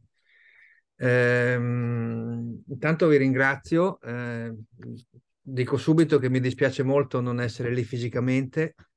Purtroppo non ho potuto, contrariamente alle, alle intenzioni che avevo, anche per avere un po' un rapporto più diretto, guardare anche eh, in aula chi mi ascolta, eccetera. Ehm, però detto questo, visto che i mezzi ci consentono, procediamo in maniera alternativa. Eh, nella mia parte, eh, io volevo un po'. Le cose che ho sentito sono ovviamente molto stimolanti e interessanti e cerco un po' di completarle facendo un ragionamento di natura più aziendalista, organizzativa, eh, sui temi appunto della. Eh, il, tema che guardo io è un po' il tema della coproduzione, dove per coproduzione vedremo, intendo un po' tutte le attività che, che prima eh, eh, la professoressa Fionini parlava di coamministrazione, ecco adesso, quindi qui i temi ne giocano un attimo, però Quando dico coproduzione ovviamente ci metto tutta l'attività che è a monte, quindi la coprogettazione e, e tutta l'attività conseguenziale. Ecco. Ehm, mi focalizzerei su questo eh, con, eh, cercando un po' di capire tre cose fondamentali. Uno, appunto, anche perché questo tema della coproduzione negli ultimi 6-7 anni è diventato un tema centrale anche nell'ambito delle ricerche di public administration a livello internazionale, eh, un po' in tutti i paesi, sia statunitensi, che, cioè sia anglosassoni che soprattutto nord europei. Quindi è un temone eh, all'ordine del giorno per chi studia lo sviluppo e la funzionalità della pubblica amministrazione, di public management, per dare delle etichette. Ehm, quindi volevo un po' ragionare su che cosa si intende dal nostro punto di vista quando si parla appunto di, usiamo il termine coproduzione insieme, e ehm, quali sono anche le complessità del portare avanti un progetto di coproduzione e questo è un po' il primo pezzo, no? Che cosa intendiamo per coproduzione, perché nasce, cosa intendiamo e quali sono le difficoltà, primo aspetto. Secondo punto del mio ragionamento è con quale eh, logica di fondo deve essere sviluppata l'attività di coproduzione? E qui inserirò due concetti molto semplici, eh, due, due, ragionamenti che eh, il discorso coproduttivo è un tema che possiamo definire oggi va di moda, è un, tema, è un termine quello che sto per dire che andrebbe spiegato, però insomma per adesso accettiamolo così com'è, si tratta di creare valore pubblico, ok? E il valore pubblico si crea attraverso una capacità strategica e una buona leadership all'interno delle amministrazioni. Infine, eh, compatibilmente coi tempi, eh, quello che volevo rappresentare è, è un po' diciamo una, un ragionamento che avrei potuto mettere anche all'inizio, ma come chiusura del mio ragionamento volevo ragionare appunto su uh, tutte le strumentazioni che ci sono anche nel contesto italiano di rapporto pubblica amministrazione cittadino e come queste sono rappresentate il tipo di evoluzione che ci sono. Quindi anche il tipo di pubblica amministrazione come è centrata. Un po' i ragionamenti che faceva anche prima la professoressa, la professoressa Violini rispetto a che cosa accadeva Uh, fino agli anni 70, che cosa è accaduto no? quando ho cominciato le prime esperienze di sussidiarietà con vari strumenti e che cosa sta accadendo oggi. Quindi, ma le conseguenze poi di modello di amministrazione che ne, che ne, che ne derivano no? da questi processi. Quindi vorrei affrontare questi tre punti. Definiamo coproduzione, la sua complessità operativa, le sue analisi critiche, diciamo, tra virgolette. Ragioniamo su strategie e leadership per lo sviluppo della coproduzione. Detto in altri termini, io uh, ho, fatto un primo caso, mi ricordo un primo articolo ancora 6-7 anni fa sul tema coproduzione, dove analizzavamo dei, un progetto che ha fatto Regione Lombardia per la gestione dei ragazzi autistici, sostanzialmente, dei ragazzi, delle persone autistiche, scusate. Ehm, e eh, mi ricordo molto quando andavamo a intervistare chi si è occupato del progetto, eh, quello che ci raccontava è la fatica, ok? Perché fare coproduzione significa relazionarsi in maniera fortissima con una miriade di soggetti senza regole molto chiare, perché si definisce il progetto, lo si cerca. E quindi diciamo è chiaro che per sviluppare questa attività occorre essere molto focalizzati e molto orientati strategicamente. Quindi è molto motivati in senso lato. Adesso poi magari farò anche qualche esempio. Quindi tratto un po' questi tre passaggi. No? Eh, a monte, anche in relazione alle cose che sono state appena dette, eh, da, sia dall'assessore inizialmente, sia anche dal presentatore che dalla collega Violini, eh, ci tengo a sottolineare due elementi sempre di, di scelta di campo personale, no? quindi anche di carattere eh, così, mh, valoriale in senso lato. Il primo è che mia, nel mio contesto, ma questo devo dire anche nel contesto delle discipline aziendalistiche nel pubblico, nella pubblica amministrazione, eh, il concetto di coproduzione non è solo un concetto che riguarda il terzo settore, sostanzialmente, ma è un concetto che riguarda tutto il funzionamento, gran parte dell'attività poi dipende da settore a settore ovviamente. È chiaro che il settore del, dei servizi sociali, cosiddetto terzo settore, per, che peraltro è molto ampio, adesso anche qui diventa, diventa difficile entrare nelle varie vicende, però è chiaro che ehm, il... Il coinvolgimento, le modalità di coinvolgimento degli attori sono molto varie e quindi vanno anche oltre, diciamo, quelle che sono le imprese sociali, ecco, ma riguardano tanti soggetti in maniera significativa. Quindi è un tema generale di funzionalità delle pubbliche amministrazioni. E, ehm, quindi non, non, lo terrei fermo uh, in, nel contesto. Perché dico questo? Perché, ehm, ma questa è una mia, ripeto, una mia opinione personalissima e quindi in quanto tale totalmente criticabile, anche la normativa sul terzo settore recente che si citava all'inizio, nella, anche nella citazione che era stata fatta delle sentenze, ehm, dichiarano, dichiarano, giustamente il tema no, che nell'ambito mh, di cui si stava discutendo l'elemento economico, l'elemento del profitto ha una natura non centrale, no? come avviene in altri contesti. Adesso parafraso malamente la, Uh, la lettura che aveva dato molto importante secondo me è chi ha introdotto il, il discorso oggi. Eh, quindi citava mm, l'articolo 55, no? sostanzialmente. Ecco, io non sono un giurista, quindi consentitemi qualche errore, però sostanzialmente eh, l'enfasi che c'è nella dimensione non economica ma relazionale, un po' in tutta la normativa sul terzo settore, è sicuramente molto importante.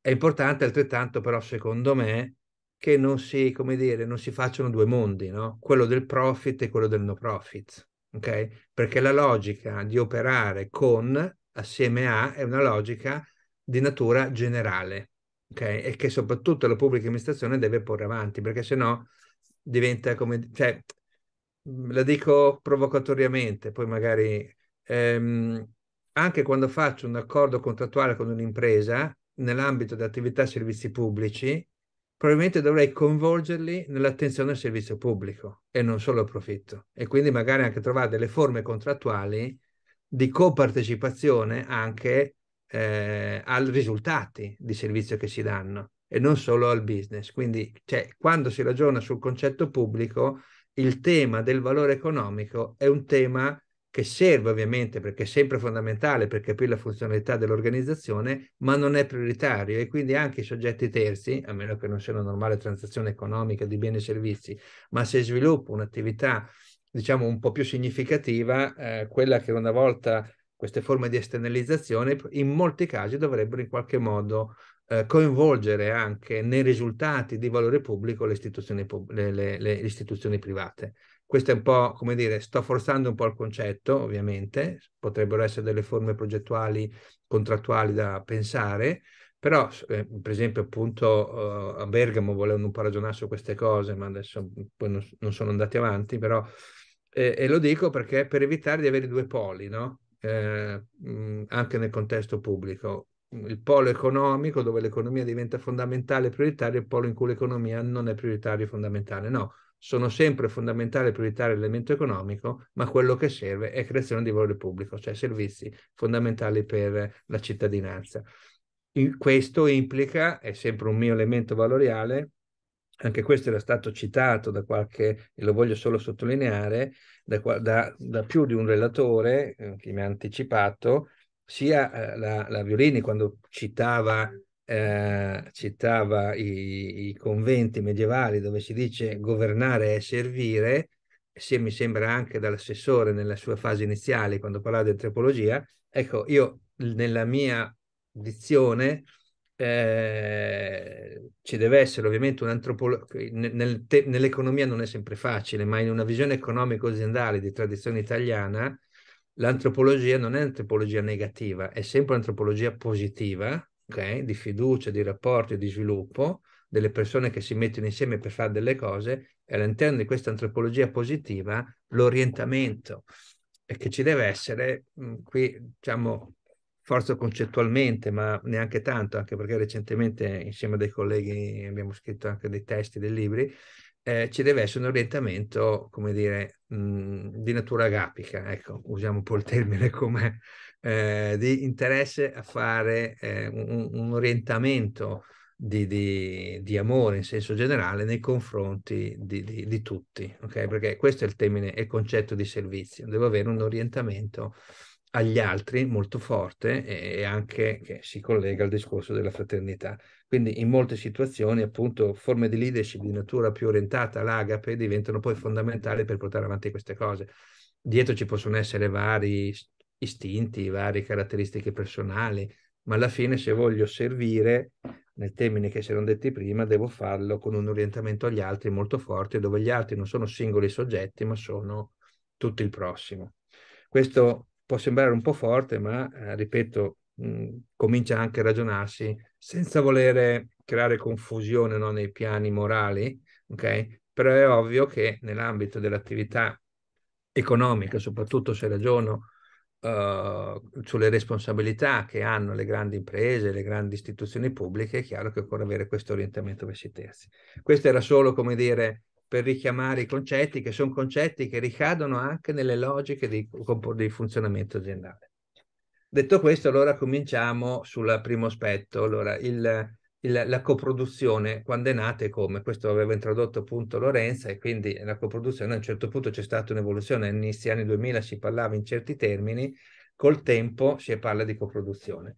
Eh, l'idea è, è, di nuovo che eh, la coproduzione è, sia stata spinta un po' anche dalle dimensioni di difficoltà economica no? nell'attività di produzione, quindi crisi finanziaria, debito pubblico, eh, elevato, di, di, elevato, livello di spesa pubblica non manovrabile, eh, perché per esempio la spesa manovrabile nel bilancio dello Stato italiano è attorno al, 20 per, no, è attorno al 10%, no? quindi non è tanta roba.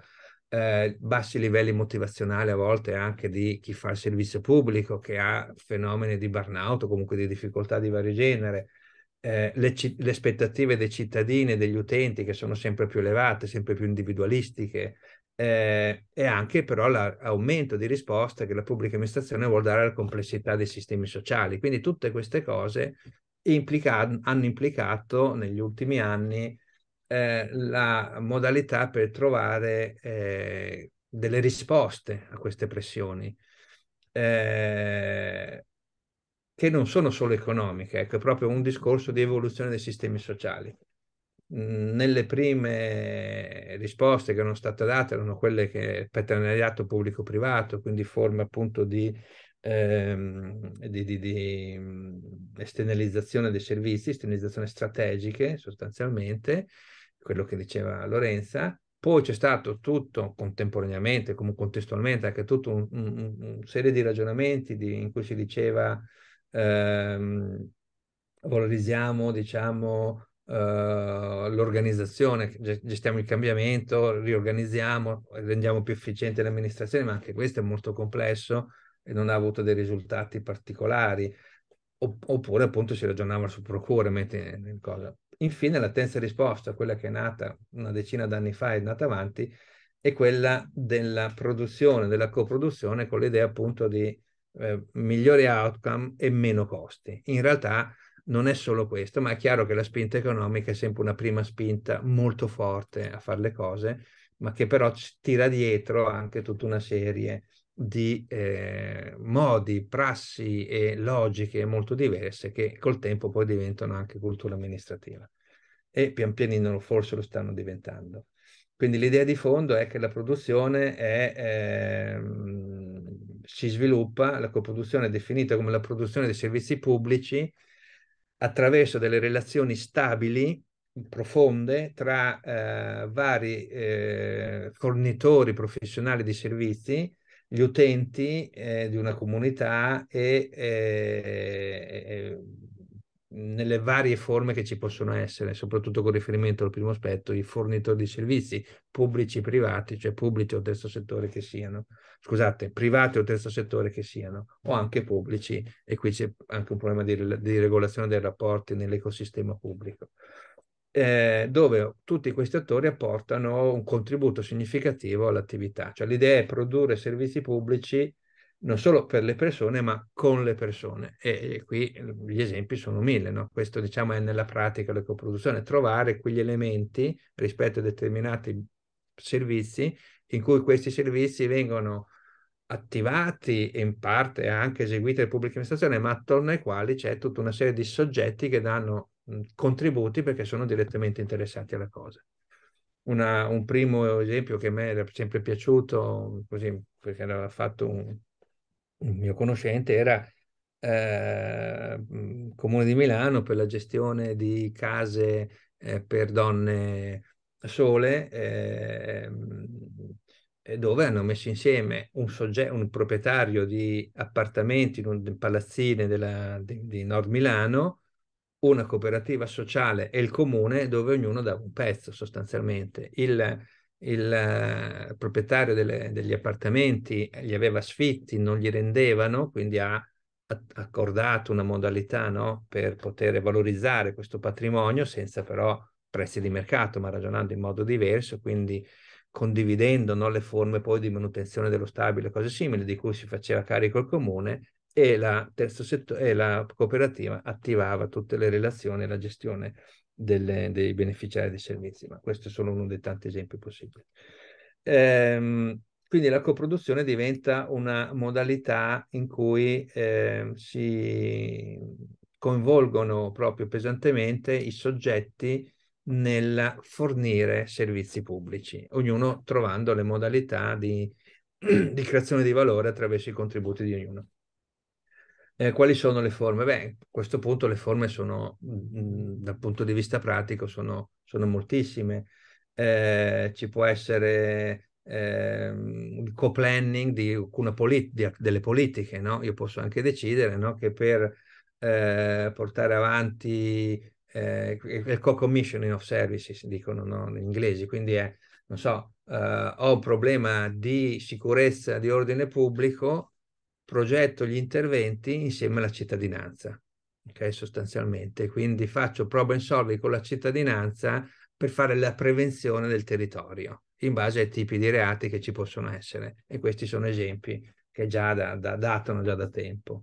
Oppure anche la ehm, in, in, una logica larga no? di, di, di, coproduzione, come stiamo dicendo, è anche la coprioritizzazione dei servizi, cioè quali sono i servizi più importanti da fare prima, quelli da fare dopo, quindi eh, co coinvolgere i cittadini, i cittadini, non le rappresentanze portatrici di interessi particolari, quindi eh, il concetto è ampio, quindi non le associazioni di categoria, non necessariamente, ma anche tutti i singoli cittadini, diciamo, forme di partecipazione per capire eh, come distribuire determinate risorse, il budget partecipativo, eccetera. Eh, le forme di cofinanziamento che ci possono essere dei servizi, dove appunto faccio fundraising oppure mi, accorgo, mi accordo sulle modalità di gestione delle tasse, eccetera. Oppure fare anche eh, co-design, quindi chiedere nella fase iniziale, e qui le modalità le prassi in realtà nel, nell'ambito degli enti locali, anche attualmente, fanno un sacco di queste attività, a volte poco codificate, con poca consapevolezza, ma hanno un loro valore devono essere, essere compresi fino in fondo il loro valore. Comunque dicevo, co-design significa per esempio eh, fare dei, appunto, dei laboratori insieme per definire come sviluppare certe attività, eccetera.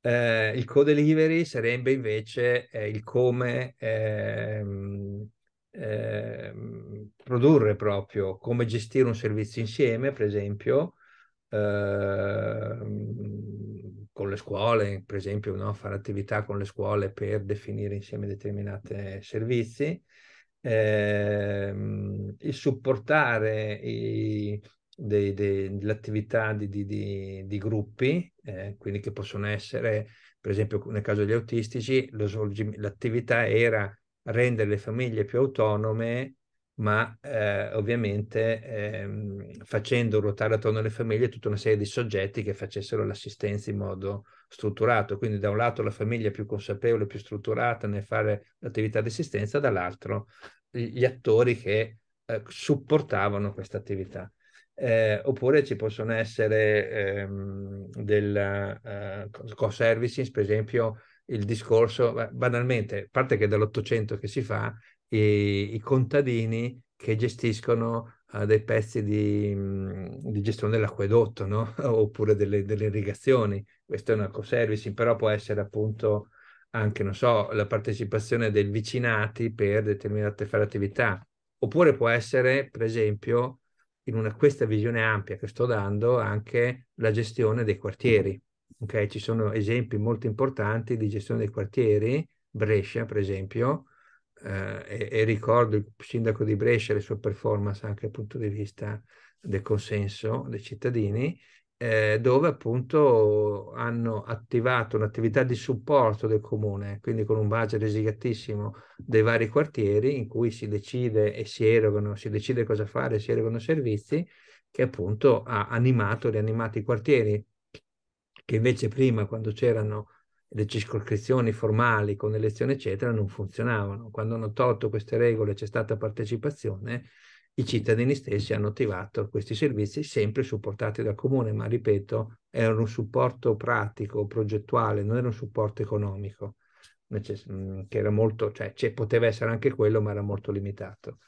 E nella valutazione anche dei servizi. Quindi con, con questa, diciamo, in sostanza, la coproduzione va dalla eh, dal pianificare, dal decidere insieme, dal progettare, dall'erogare servizi, dal valutare insieme. È un po' tutta la, fi- la filiera della politica pubblica che può essere attivata con forme coproduttive, in senso di, di copartecipazione, di, di ehm, qui poi termini bisognerà che piano piano si strutturino meglio, appunto di condivisione, no? che diventa poi eh, il suffisso con è quello importante, insomma, di condivisione amministrativa che diventa importante, riguarda tutte le fasi e tanti tipi di servizi diversi.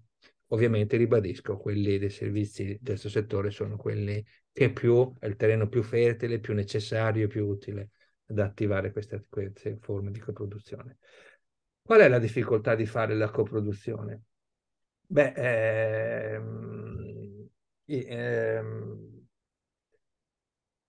diciamo, eh, ovviamente la coproduzione è sviluppata ad oggi nelle situazioni istituzionali, negli stati, dove c'è più, eh, già più welfare, ok?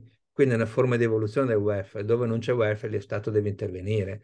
Quindi non possiamo pensare, quindi come dicevo prima, la coproduzione, non bisogna mai pensare che l'elemento economico sia quello che tira, è quello che fa nascere un'esigenza ma non si può giustificare un'azione di coproduzione semplicemente con gli aspetti economici, perché appunto, e questo è dimostrato dal fatto che la coproduzione avviene in sistemi sociali evoluti, dove ci sono dei cittadini in grado di essere propositivi e in altri casi dove c'è capitale sociale limitato diventa difficile fare un'attività, anzi è impossibile fare un'attività appunto di condivisione amministrativa sostanzialmente eh, la coproduzione, è, e questo è un primo aspetto, no? quindi capitale sociale diventa un elemento importante per attivare forme di coproduzione.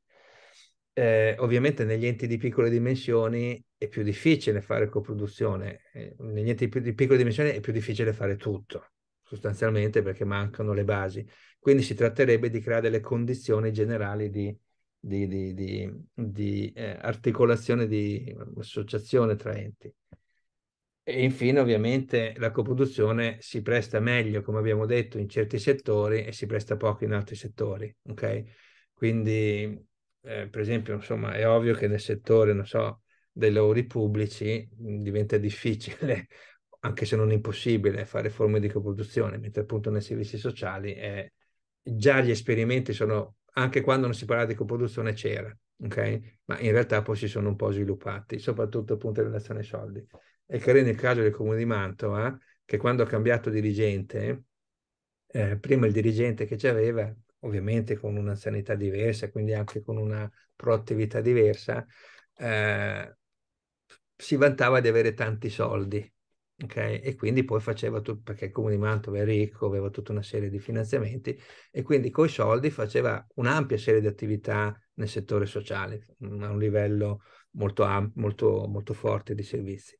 La sua success- successora, non mi viene il termine, la dirigente che l'ha, uh, che l'ha preso il suo posto, che era anche il quadro intermedio peraltro dello stesso servizio, oggi si vanta di tutti i servizi che fa e non dei soldi che spende, perché quelli sono peraltro stati ridotti. E quindi ha messo in piedi per esempio 41, eh, assieme ovviamente con l'aiuto della fondazione, in questo caso la fondazione Cari, Cari Verona, credo, non mi ricordo, però ha attivato insieme ad altri a livello nazionale tutta una serie 41 progetti che sono tutti progetti di conversazione, di gestione del bilancio familiare, di rapporto, di assistenza alle famiglie con 41 in attività diverse, coinvolgendo più di 160 nuclei familiari. Quindi eh, e, e, i soldi non, non, non, è quello il problema. Ovviamente servono, eh? non è che sto dicendo che non servono. Eh, la, eh, inoltre la coproduzione è, eh, eh, è un elemento, è un paradigma un po' trasformativo del funzionamento della pubblica amministrazione. Io non posso essere coproduttivo se ho l'idea della pubblica amministrazione che citava prima Lorenzo di carattere ottocentesco, cioè i soldi, faccio i servizi e decido. E, eh, presuppone un settore pubblico basato sulle relazioni, le, le, le, sia dentro, sia, scusate, sia fuori, ma anche dentro, perché fare la coproduzione significa riuscire a relazionarsi con tutti, perché molti dei problemi e molti dei progetti devono essere trasversali o comunque i problemi si risolvono in modo trasversale. Per essere chiari, nei servizi di tutela della sicurezza pubblica, a volte è più importante eh, il lavoro dei servizi sociali che non della polizia municipale. Ok? E quindi bisogna ragionare in modo molto trasversale su queste cose. Ora, il capacità, questo ovviamente qui detta così sembra un po' una generalizzazione, in parte lo è, però è suffragata da tutta una serie di esperienze e situazioni, questo elemento, questa capacità relazionale o anche solo questo spazio dato ai dirigenti e dipendenti di essere ampiamente relazionali è fortemente limitato. Oggi, oggi in molti casi appunto le regole, le norme costringono molto uh, e, e, limitano l'aspetto relazionale delle amministrazioni e in generale appunto non c'è un grosso incentivo ad aprirsi eh, nell'attività, c'è più, c'è più un incentivo a fare una azione di amministrazione difensiva, come si usa dire, come dicono gli amministrativisti, che non ad aprirsi e trovare soluzioni e quindi questo rende piuttosto complesso l'attività. Certo è che come appunto è stato descritto da molti, la coproduzione necessita di un nuovo ethos da parte del funzionario pubblico, che è quello che dicevo prima. Io non rappresento lo Stato, io, cioè, io rappresento lo Stato ovviamente perché sono un pezzo di Stato, ma in quest'ottica io rappresento colui che crea valore pubblico e che dà servizio ai propri cittadini, ai propri, eh, ai propri sì, concittadini sostanzialmente, quindi cambia un po' l'orientamento del dipendente. Questa non è una cosa da sottovalutare perché è culturalmente molto diverso. Magari i servizi sociali oggi sono abituati a fare questo perché già hanno, diciamo, delle skill e delle professionalità di questo genere. In generale, però, questo non è ancora riconosciuto. Il dirigente del comune di Brescia che si occupa dei, dei, dei quartieri gli dicono: Ma tu non fai niente, okay? perché ha poco budget e, e, lo vedono solo in giro a fare riunioni insieme al proprio quadro. Ecco, quindi c'è una sottostima dell'importanza di queste forme di relazioni, oltre che difficoltà nel farle. Come si fa a farle? Quindi questo è diciamo, il primo punto, spero sia stato abbastanza chiaro. Le coproduzioni viste in senso lato e appunto questa, questi, questi elementi per portarle avanti. Per ragionare su questo ethos eh, e quindi i ragionamenti come possono essere portati avanti, si tratta adesso, sono un po' lungo, chiedo scusa, adesso cercherò di, di stringere. Chiedo scusa Lorenza. Mm. Prego. Procedo un attimo, voleva dire qualcosa? Eh, non, non sento.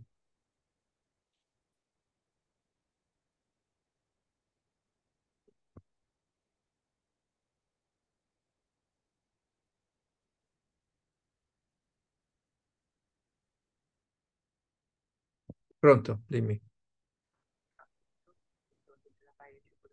Sì, sì, in, sì, sì, in 5 minuti finisco. Sì, sì, in 5 minuti finisco. Grazie. Sì, sì.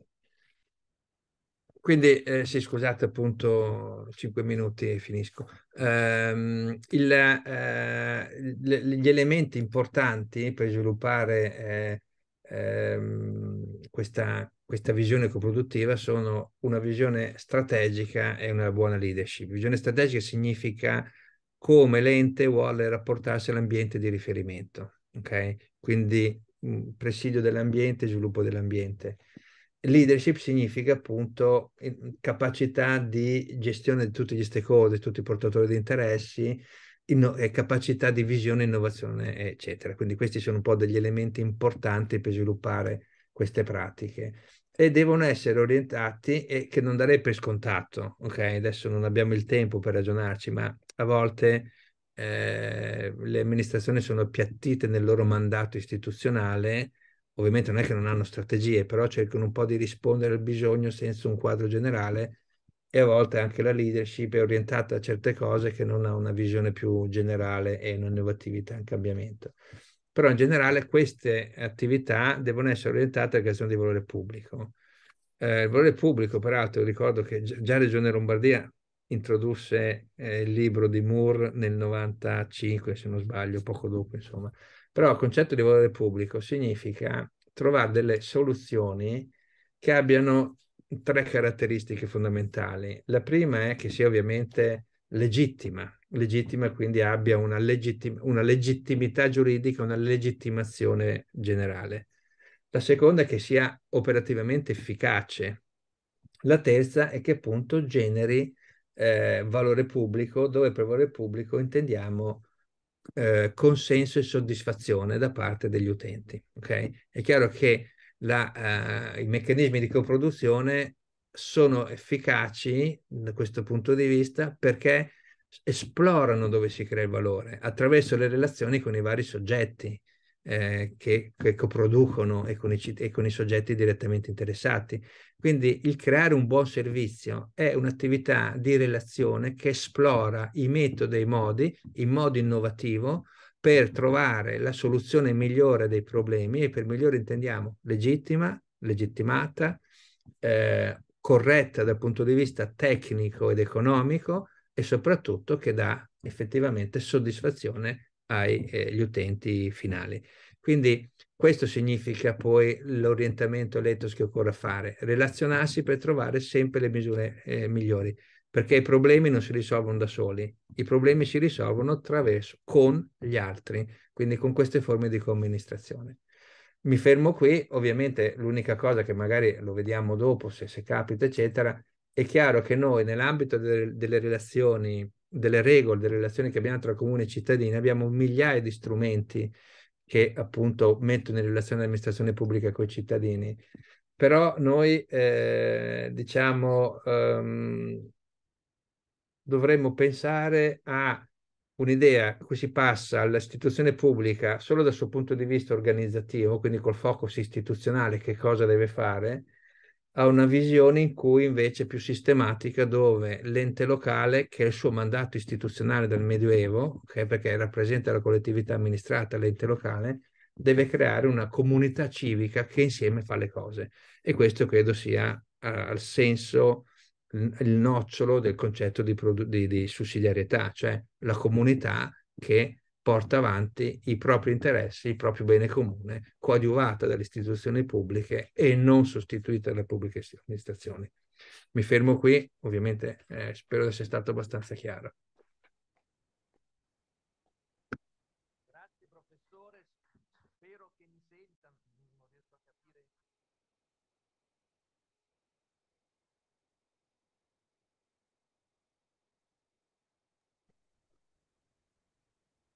Pronto? Dicevo che sento pochissimo. Okay.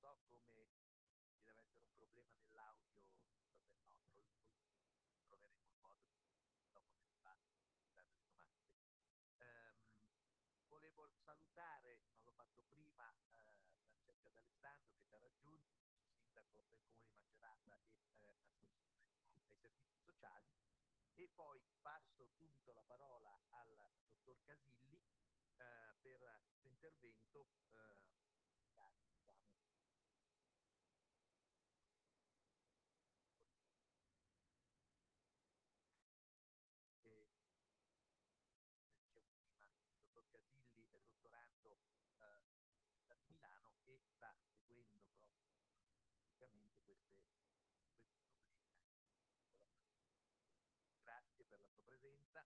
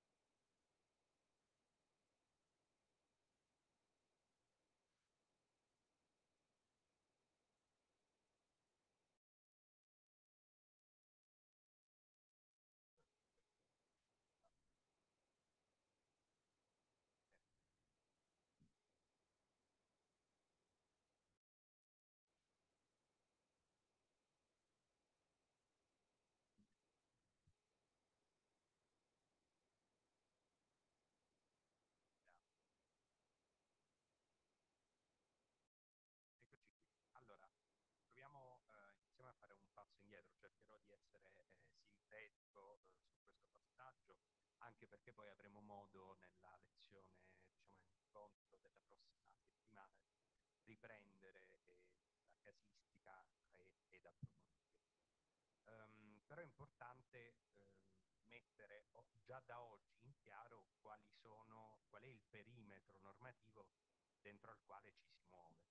Eh, la professoressa Violini ha spiegato bene come appunto la sentenza 131 del 2020 sia stata il punto di svolta, ma andiamo a vedere rispetto a quale normativa, cioè al decreto legislativo 117 del 2017 che è appunto il famoso codice del terzo settore.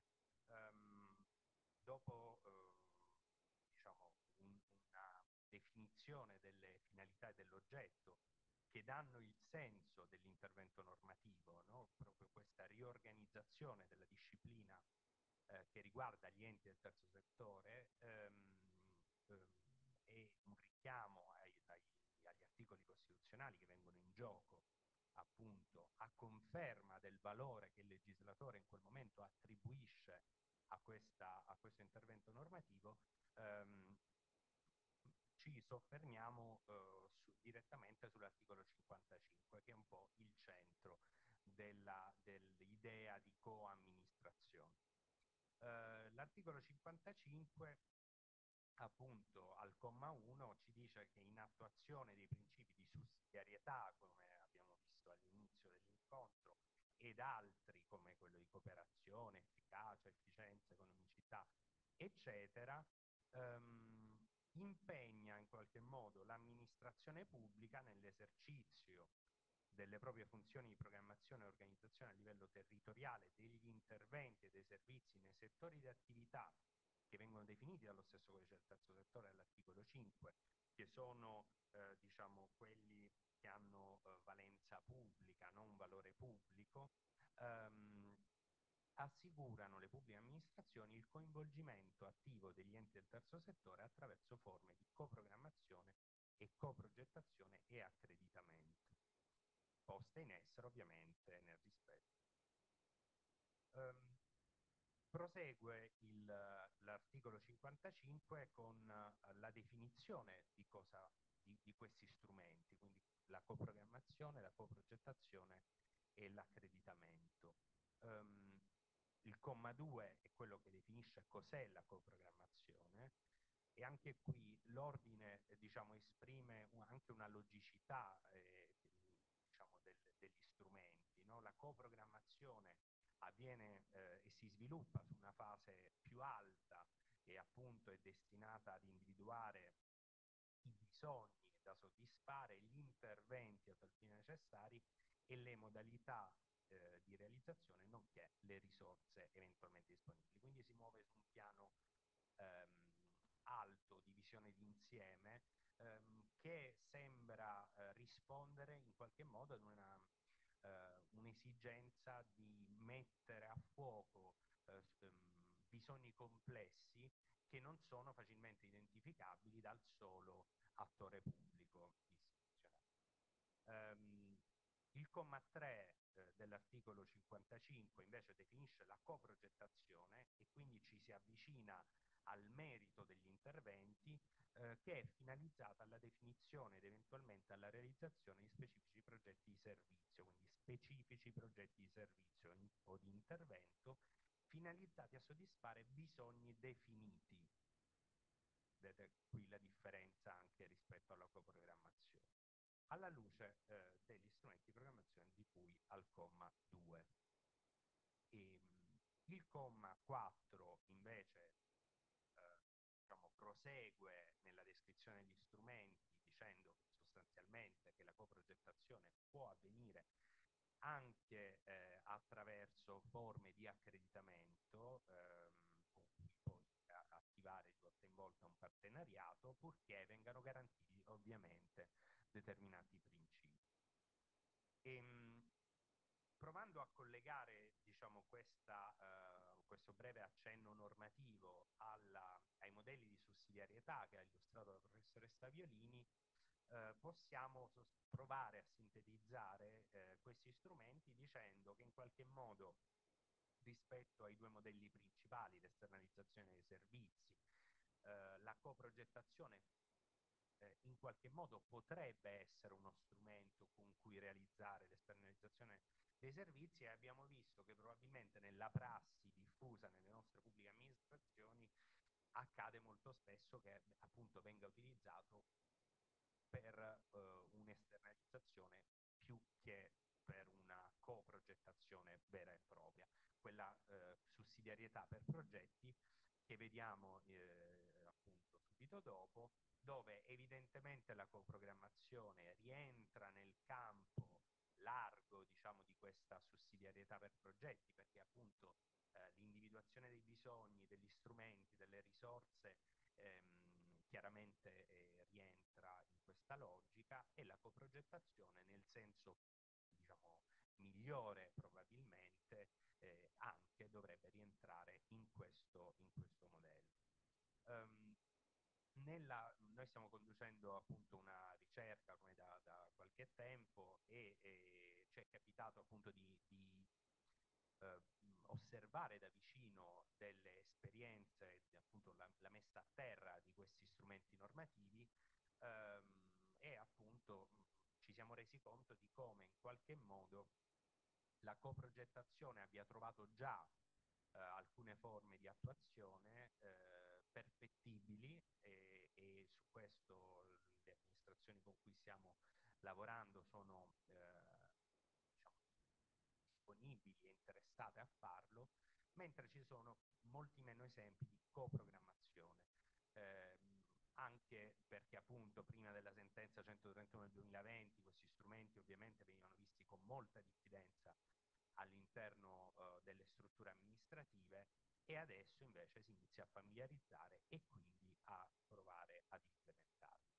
Um, due esempi avevamo pensato di, di, accennare oggi appunto per dare eh, anche un elemento eh, pratico rispetto alle cose che, che, che abbiamo detto e che ha accennato in particolare la professoressa all'inizio e, e, sono questi due progetti, entrambi del Comune di Milano, con cui appunto stiamo conducendo questa ricerca, eh, il primo dei quali è, l'osservatorio antidiscriminazioni e eh, l'elaborazione del piano antidiscriminazione del Comune di Milano.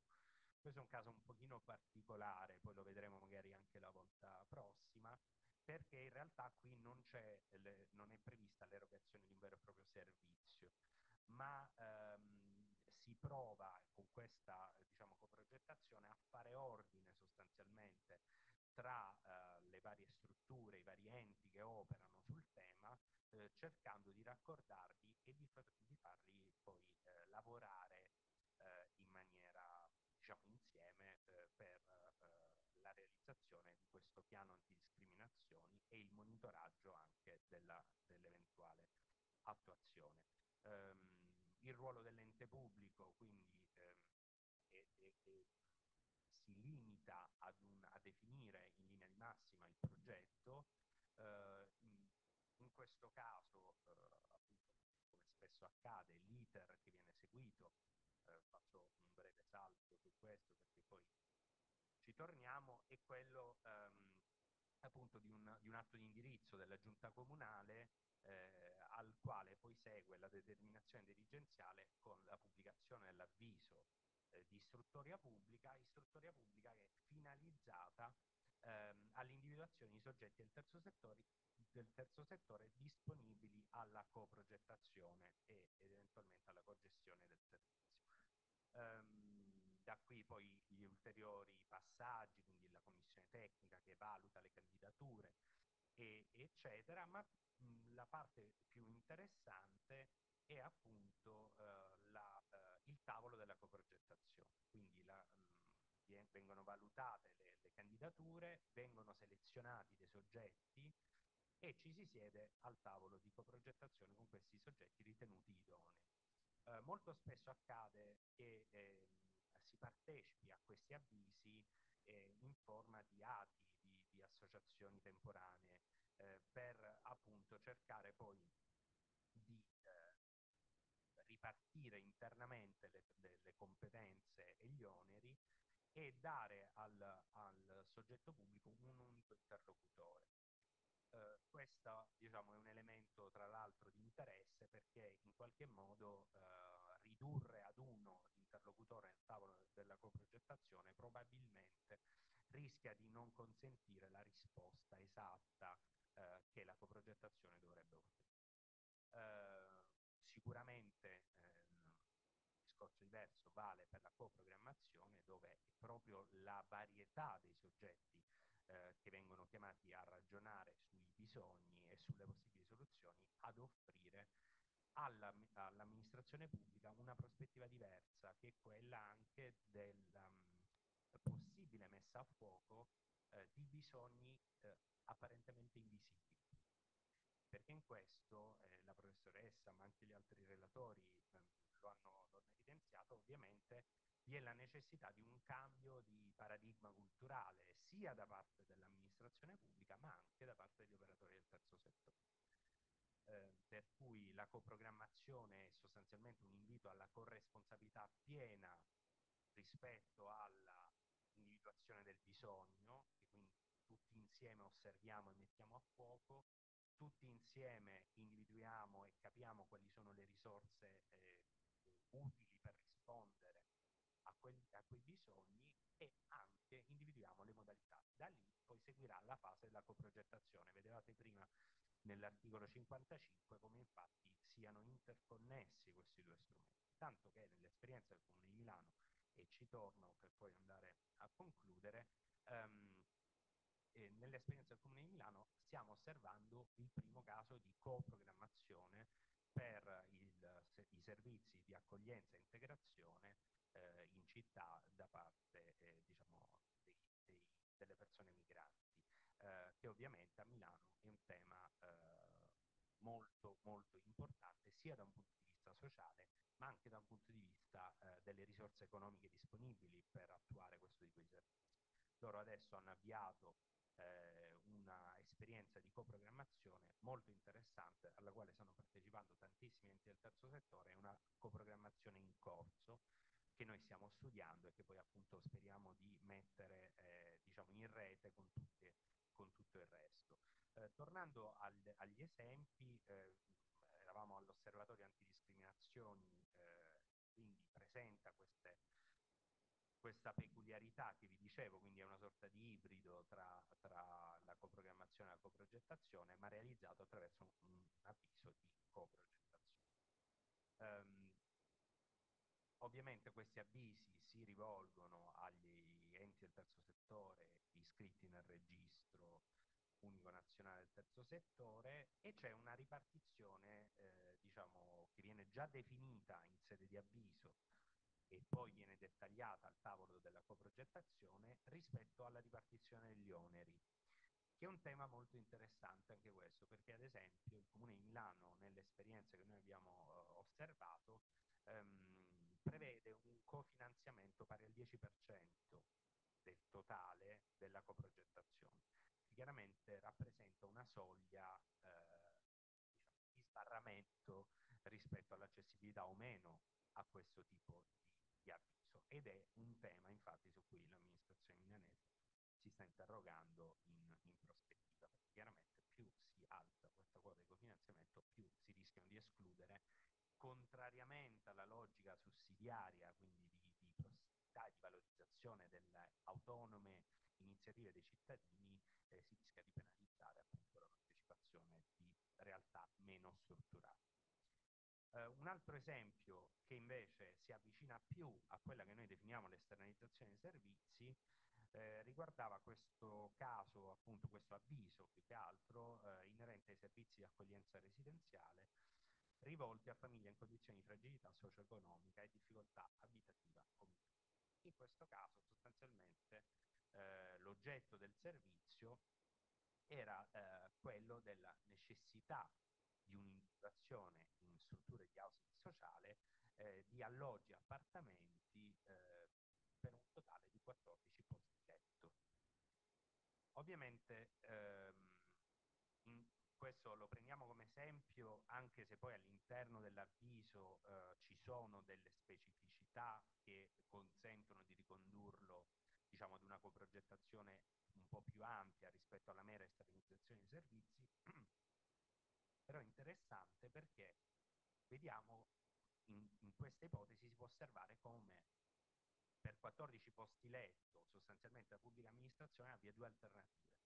O appaltarli eh, tramite, usando diciamo, gli strumenti del codice dei contratti oppure ehm, usare codice eh, del terzo settore per raggiungere un obiettivo sostanzialmente simile cioè quello della fornitura del, dei 14 posti letto.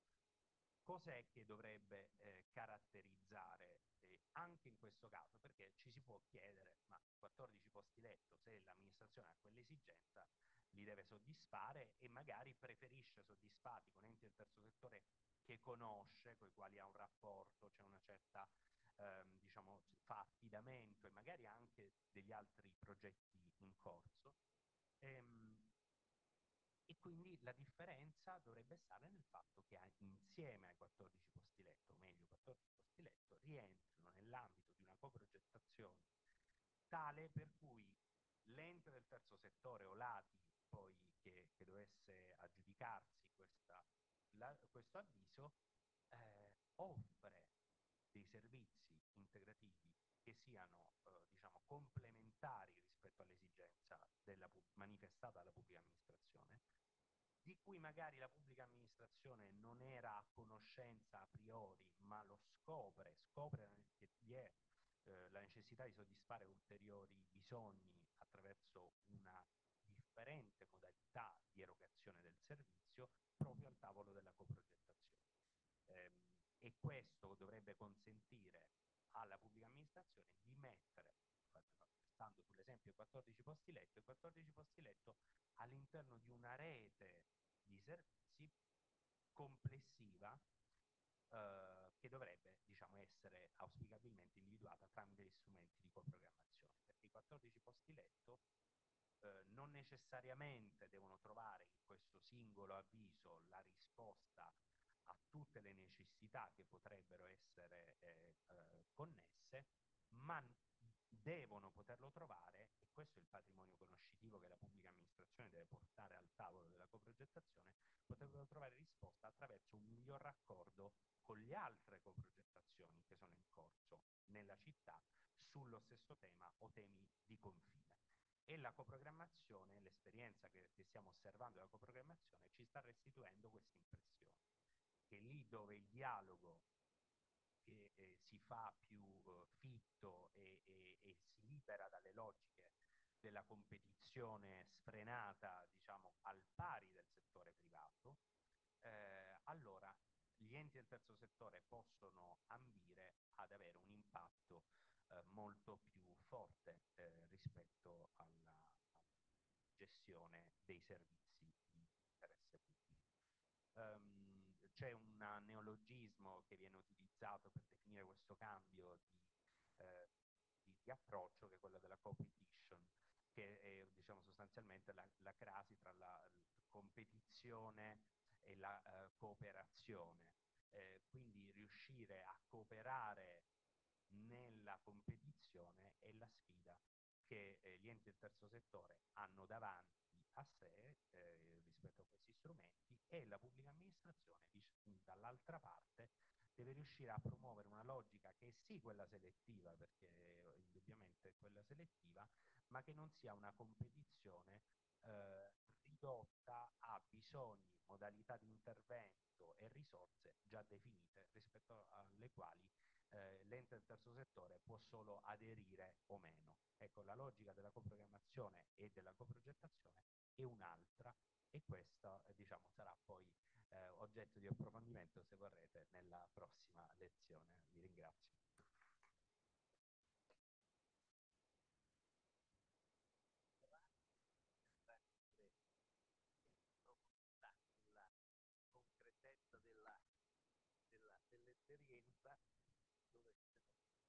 dell'esperienza dove è stato l'apporto che può dare questa, questa metodologia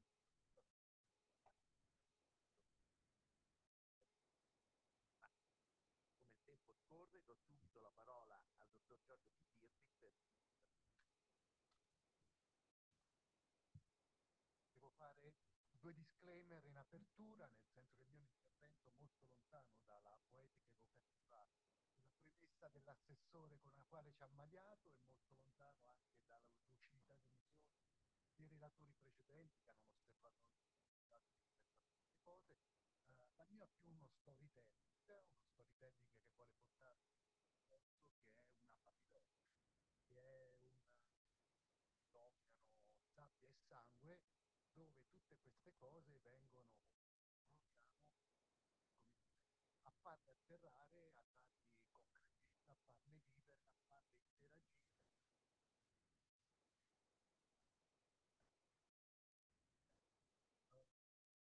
Devo essere sincero, sono molto appassionato del tema della coprogettazione, la storia, ho studiato il welfare state, il welfare poi sono molto, eh, ammaliato, noi ricercatori sociali molto concreto, quindi di solito e apprezzo partendo dall'osservazione della realtà, e perché mi piace molto vicino? Ok, e perché mi piace quindi molto il tema della coprogettazione? Perché la guardo come innanzitutto come incontro tra sistemi, due mondi separati, distinti, veramente separati, che provano ad incrociarsi, a creare intersezione fra di loro. L'incrocio fra i sistemi, come dire, ce lo spiega la scienza da un punto di vista che aiuta la sopravvivenza, no? Perché un neurone che non si connette con un altro attraverso quel processo che si chiama sinapsi ha un tempo di vita di pochi secondi e quindi ci porta alla demenza, quindi dobbiamo connetterci. Ci insegna la storia, anche l'antropologia, no? che le comunità chiuse, le tribù, che non si scambiano con l'ambiente esterno sono destinate all'estinzione, alle malformazioni genetiche. Perché? Perché manca una cosa fondamentale, quel processo biologico che si chiama crossing over, no? dove due filamenti di DNA prima si distanziano, si osservano, si conoscono, poi si incrociano per poi separarsi, ma la cosa sorprendente è che poi ogni segmento di DNA porta con sé un pezzettino dell'altro, cioè si sono scambiati, si sono ibridati, si sono contaminati, hanno creato qualcosa di nuovo, no? questo incrocio ha generato cambiamento. E credo che la coprogettazione sia uno strumento fondamentale per il cambiamento. Soprattutto partiamo dal perché uno deve cambiare. Ho detto sempre che uno dice che bisogna cambiare, no, il cambiamento serve se necessariamente cambia. Ma quando è che dobbiamo cambiare? Dobbiamo cambiare su tre presupposti. Quando le cose che facciamo non funzionano, e questo risponde a un principio d'osservazione. Se ciò che stiamo facendo non funziona, necessariamente dobbiamo apportare qualche innovazione. Il secondo principio secondo il quale secondo me occorre cambiare è quando eh, quello eh, del paradosso, eh, quando ciascuno di noi, nonostante faccia del proprio meglio, no, e tutte le sue energie, tutte le sue intelligenze, non ottiene comunque i risultati che, che ambisce, che aveva programmato, quelli che sono, come dire, almeno corrispondenti alle energie che sono state investite. L'osservazione, il paradosso è l'ultimo, è quello che spesso mi sento ripetere nelle pubbliche amministrazioni mai Macerata, assessore eh, quando uno, quando uno chiede ma perché stiamo facendo così, la risposta è così e quindi il terzo principio è quello della tautologia e che io credo che in queste tre situazioni sia um, ineludibile il cambiamento. Di progettazione, di coprogettazione, coprogrammazione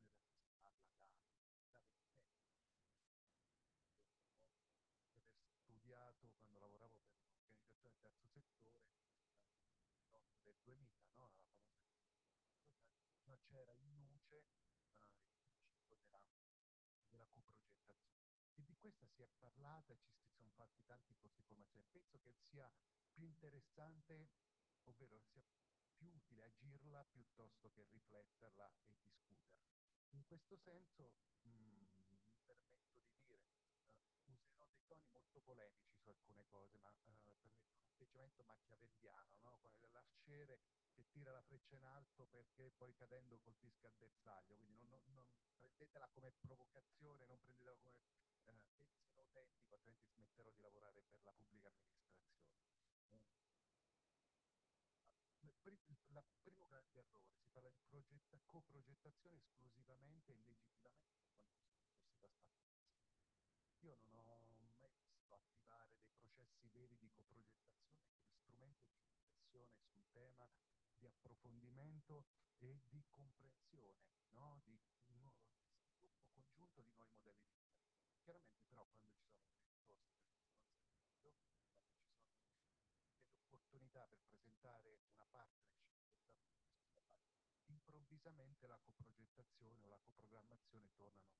Dovremmo avere come dire, il coraggio, l'ardire di fare di questi, di questi strumenti, perché sono strumenti, eh, quelli compagni costanti del nostro, del, della nostra azione quotidiana, sia per quanto riguarda la pubblica amministrazione, sia per quanto riguarda il terzo settore.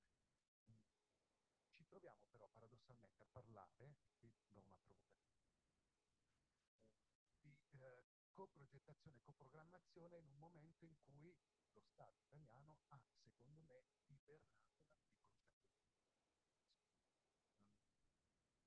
115. Dico fatti, nel senso, vado alla, vado alla mia piccola spiegazione. Eh, ci troviamo in un momento storico in cui, eh, come dire, PNR, no? la Next Generation rappresentano lo strumento madre di rilancio, cioè abbiamo questo faro, che, questa panacea che nutriamo e coltiviamo con grande entusiasmo.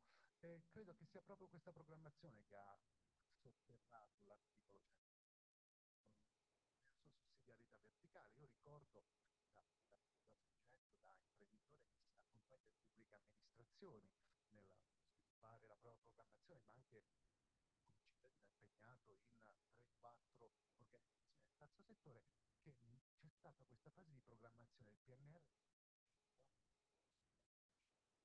queste, queste stanze segrete negli interrati dei ministeri dove i ministeri senza comunicare praticamente dalle regioni con due o tre esperti di cui non era legittimo sapere il nome stavano progettando 200 miliardi di euro di programmazione e noi ma compresi i presidenti delle regioni che cercavano a pillole i pizzini di la cultura c'è ma il sociale sarà inserito ma in quali, quali missioni state programmando.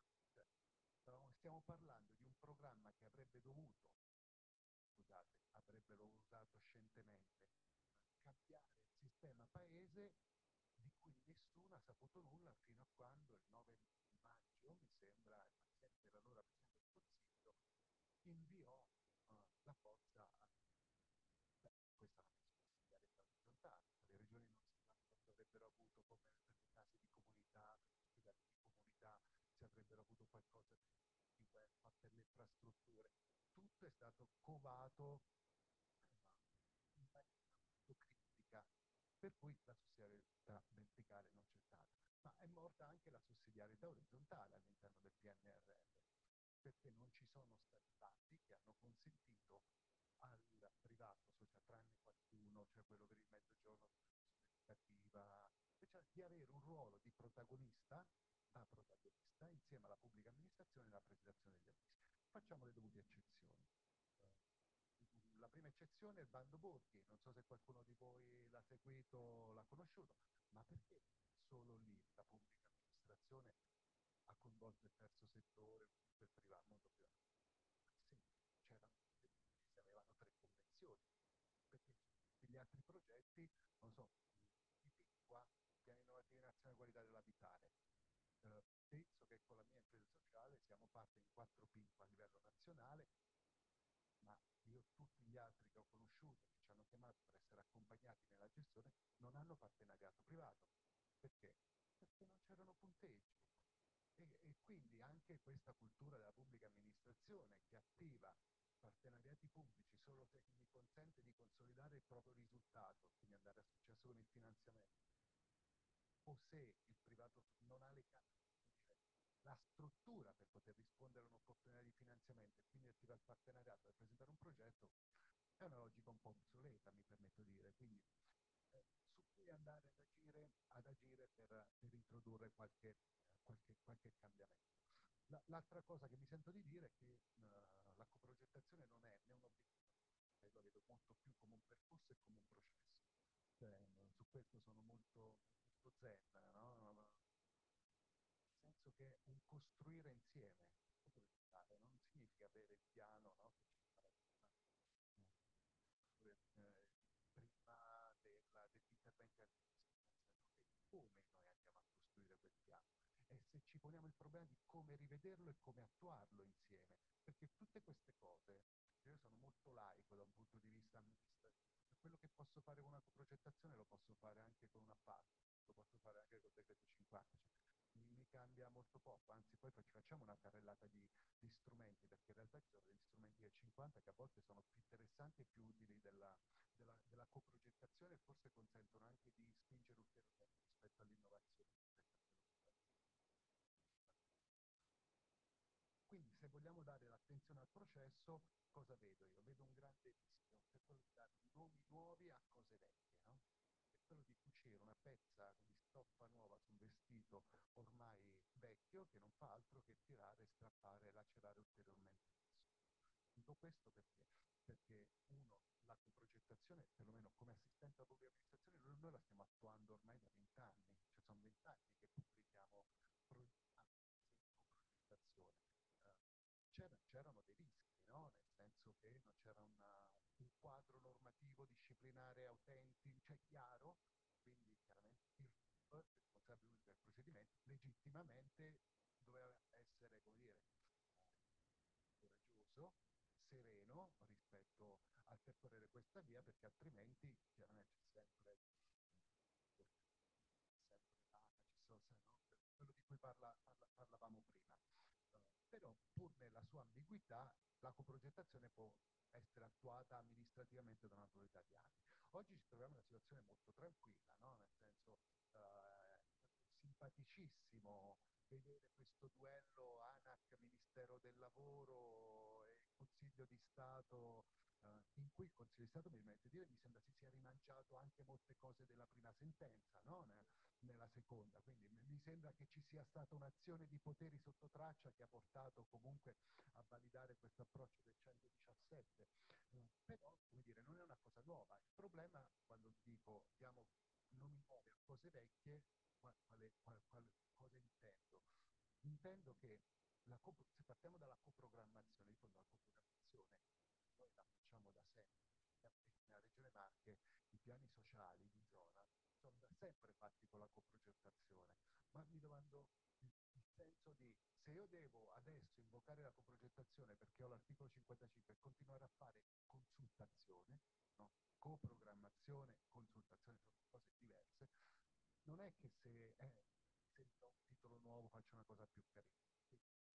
Su questo c'è un cambiamento culturale anche del pubblico, perché significa come dire, una, una, delega di sovranità, una parziale delega di sovranità, se voglio fare coprogrammazione, quindi non decido solo io, ma apro, coinvolgo e cedo parte del mio potere agli altri. Dall'altro canto, co- non è coprogettazione, adesso abbiamo gestito un progetto a 50 milioni per regioni del sud dove ho fatto tutto in coprogettazione, sono una sessantina di avvisi in coprogettazione ma non è coprogettazione se io faccio un avviso, è quello che ha fatto il Comune di Milano, seleziono un soggetto con cui faccio un incontro di coprogettazione, quelle due cose, e firmo una convenzione. È un avviso, è un avviso, è un avviso, manifestazione di interesse che non ha nulla a che vedere con la programmazione. Tanto che sì, l'elemento qualificante giustamente è critica di coprogettazione dopo il decreto 72 è obbligatoria, quindi cioè, no, non è che inventando cose nuove, cioè è un aspetto che legittima il percorso amministrativo che viene fatto. Quindi in questo senso dobbiamo qualificare, non basta che ci sia, ma diamo qualità a, a quindi in questo senso non è lo strumento amministrativo che io uso che qualifica la mia azione, ma è l'agire quello strumento che mi dà contenuto. L'altra cosa che volevo dire ehm, si aggancia un po' a quello che avevo accennato, che non è, non è la panacea di tutte le situazioni la coprogettazione. Prima, prima che ci fosse il 117 il decreto 72, quando costruiamo gli avvisi in coprogettazione, erano un avviso articolo 12 della 241, che aveva un percorso, un costrutto procedurale particolare che richiamava esattamente quello che adesso si chiamiamo coprogettazione costruita nel 55, no? Abbiamo anche altri strumenti per le imprese culturali, ma lo stiamo attuando ad Ascoli anche per le imprese sociali, abbiamo i partenariati sociali pubblico-privati, no? il 151 150, abbiamo i 181 partenariati pubblici-privati, che sono sconosciuti ai più nel terzo settore, no? ma che sono, non, non riguardando solo opere infrastrutturali, hanno la possibilità di essere utilizzati tranquillamente anche nell'ambito dei servizi, anche nell'ambito dei servizi sociali. Abbiamo gli appalti pubblici per le soluzioni innovative, che è uno strumento che io conosco pochissimo. Abbiamo degli strumenti complementari, no? quindi non, è che tutto deve essere coprogettazione nella bontà del, dello strumento, ma diventa una freccia nella feretra che possiamo oh, utilizzare uh, in relazione a quello che, che ci serve. Eh, qual è la genetica della coprogettazione del terzo? Cosa, co, quali sono le modifiche che a mio avviso serve apportare? Eh, primo, modificare l'orizzonte temporale guardiamo la nostra organizzazione, al nostro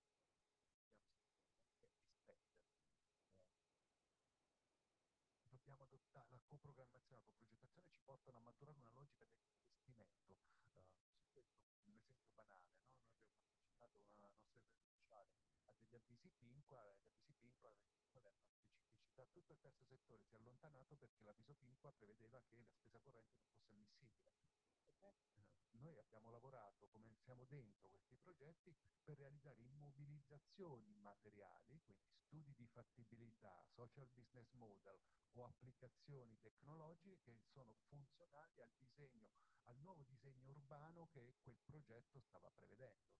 Quindi chiaramente una visione di più lungo periodo. Dobbiamo avere una migliore propensione all'innovazione e al cambiamento, perché tanto se coprogettiamo non abbiamo solo il pubblico davanti, no? Altri soggetti, quindi se non siamo disposti, come ci dicevamo per il crossing over, un po' a meticciarci, eh, ci sediamo a un tavolo di questo tipo. Eh, dobbiamo, secondo me, cambiare anche l'approccio del nostro agire. Credo che se vogliamo utilizzare la coprogrammazione e la coprogettazione per innovare, dobbiamo porci un serio problema di valutazione di impatti. Cioè non possiamo dirci che solo perché coprogettiamo è meglio che se facessimo un decreto 50. Cioè questa cosa abbiamo la responsabilità di documentarla, di comprovarla in maniera controfattuale attraverso una profonda valutazione degli impatti. Perché non basta dire che c'è un 10% di risorse in più che ha messo l'ente del terzo settore, no. Dobbiamo sapere se quei 14 posti letto attivati dal Comune di Milano creano autonomia a quelle persone accolte, sono in grado di accompagnarle verso un inserimento effettivo, perché altrimenti sì, posso aver offerto, che ne so, la progettazione, c'è il contorno nel pasto, sto solo per... No, avevo fatto il disclaimer, eh, però... Eh, cosa cambia? Per cui la valutazione di impatto è una cosa fondamentale. Una delle grandi occasioni perse in Italia insieme al PNR è quella famosa sperimentazione del Fondo Innovazione Sociale. Non so se qualcuno di voi uh, stanziati 20 milioni per fare una, un programma nazionale di innovazione sociale speculare un po' a quello dell'Unione Europea. Io ho avuto il privilegio di seguirlo facendo tecnica alla Presidenza del Consiglio nel Dipartimento per valutazione di performance. Uh, No, no, hanno, risp hanno, risposto, hanno risposto, ma non, non, la complessità del meccanismo amministrativo che era stato, che era stato costruito, ma di fatto ad esito di tutto questo percorso che ancora, che ancora in piedi non c'è la possibilità di capire se quelle partnership hanno effettivamente generato innovazione o semplicemente hanno replicato in altri contesti ciò che già stavano facendo da altre parti. Quindi ampliare il proprio orizzonte temporale, proporzionalità al cambiamento, l'approccio del proprio agire orientato alla, alla valutazione di impatto, eh, sicuramente un'attitudine a lavorare in rete, quindi eh, networking. Credo che sia importante però sviluppare anche alcune competenze, cioè come organi terzo, come enti del terzo settore che dove dovremmo maturare competenze su quattro livelli. Uno, dobbiamo, cioè, dobbiamo averle le competenze amministrative, dobbiamo averle, cioè la, la coprogettazione ci chiede di contaminarci con il pubblico, eh, dobbiamo conoscere un po' di normativa, un po' di essere in grado di dialogare e orientare anche su queste cose. Progettuali, sicuramente, quindi una capacità di avere una visione di costruire obiettivi condivisi, una visione comune con gli altri soggetti e tradurre questo in azioni, indicatori di risultato, di impatto, di realizzazione, perché questo è importante, questo abbiamo come organo del terzo settore la responsabilità di dimostrare quello che sappiamo fare, non possiamo, che abbiamo questa medaglietta solo perché non siamo perché rientriamo all'interno del RUP. Competenze di settore, perché se dobbiamo innovare dobbiamo studiare, perché l'innovazione non viene fatta facendo queste cose, e credo anche, anche organizzative. Uh, rispetto a questo, l'ultime due, due cose, penso che debba tornare di moda ciò che oggi pristinamente. Ma piano perché ho fretta, noi siamo presi dalle scadenze, il PNR ci sta, ci sta mascherando eh, e, e, sta generando, probabilmente molte, molte amministrazioni andranno in una, gestione controllata, perché se non realizzeranno quello che devono fare nei tempi fatti dovranno restituire tutto, tutto il finanziamento. L'esito sulle infrastrutture PNR si chiama stagflazione.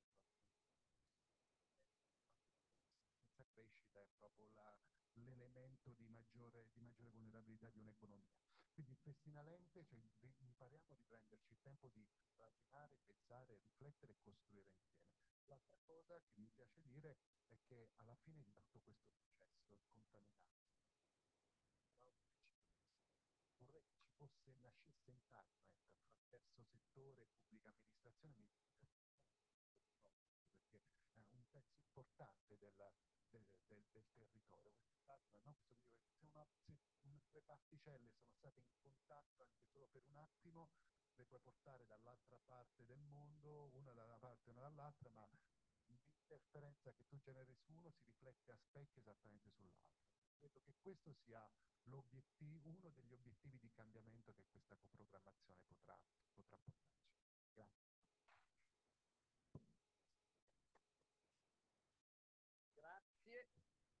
Diciamo che è stato un grido, un grido accorato e un appello al cambiamento innanzitutto, ma è esattamente quello verso cui stiamo cercando di indirizzarci.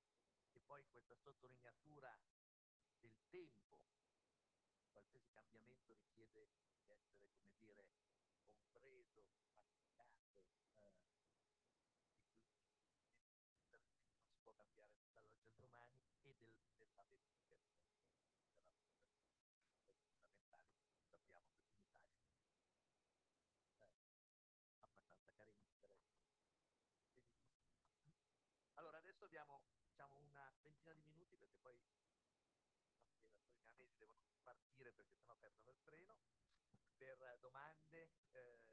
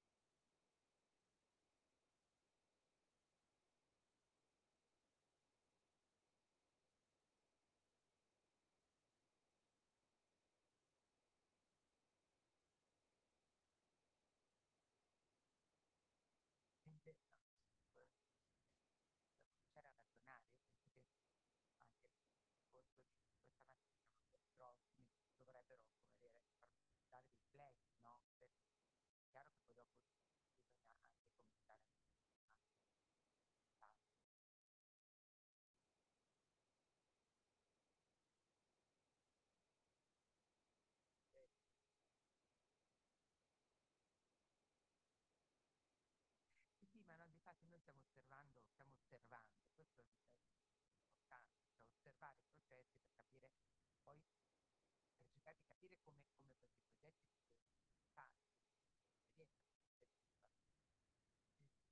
cioè dalle, l'esperienza ti fa vedere cosa sta succedendo, no? Tra l'altro sul PNRR sono totalmente d'accordo con quello che ha detto sulla sussidiarietà orizzontale e verticale, però vi devo anche dire che forse il difetto sta anche nel manico, perché noi abbiamo avuto dei tempi e delle condizioni molto imposte dall'Unione Europea, tanto che c'è vari documenti del Consiglio del Comitato delle Regioni che fa vedere come è andato sempre così, dappertutto così, tranne forse l'unico vero esempio di sussidiarietà praticata nella costruzione del PNR, il Veneto, che ha fatto tre piani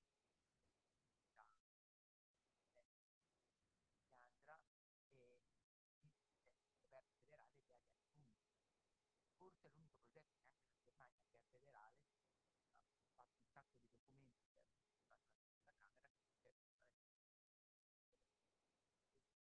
Evidentemente c'è anche un problema non solo di volontà politica, ma anche proprio di strumenti. Quindi io sono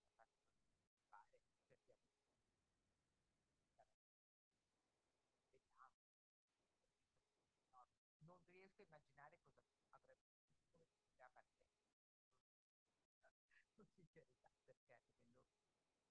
cose hanno visto i film, no? Del resto,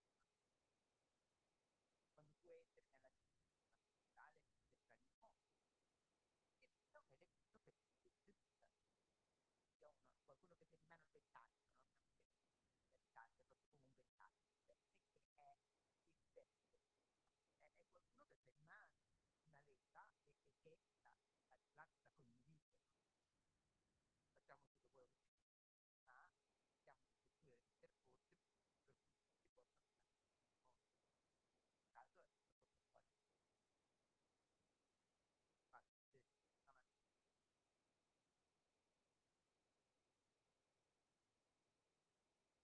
Domande, osservazioni?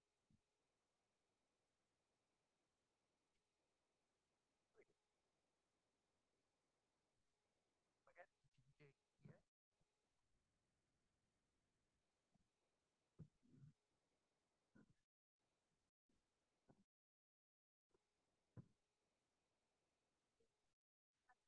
Barbara Pittori, la direttrice generale di Meridiano, una cooperativa sociale di categoria B. Eh, persone che dire, vengo di noi settore siamo presenti gente, persone, con cui abbiamo un'estrema necessità che la discussione la programmazione perché permettendo che siamo un po' come quelle tribù anche noi del terzo settore siamo quelle tribù che, che abbiamo il nostro quotidiano, il nostro territorio, ma abbiamo bisogno di contaminarci. Che il pubblico ci possa aiutare. Era solo una condivisione, una riflessione.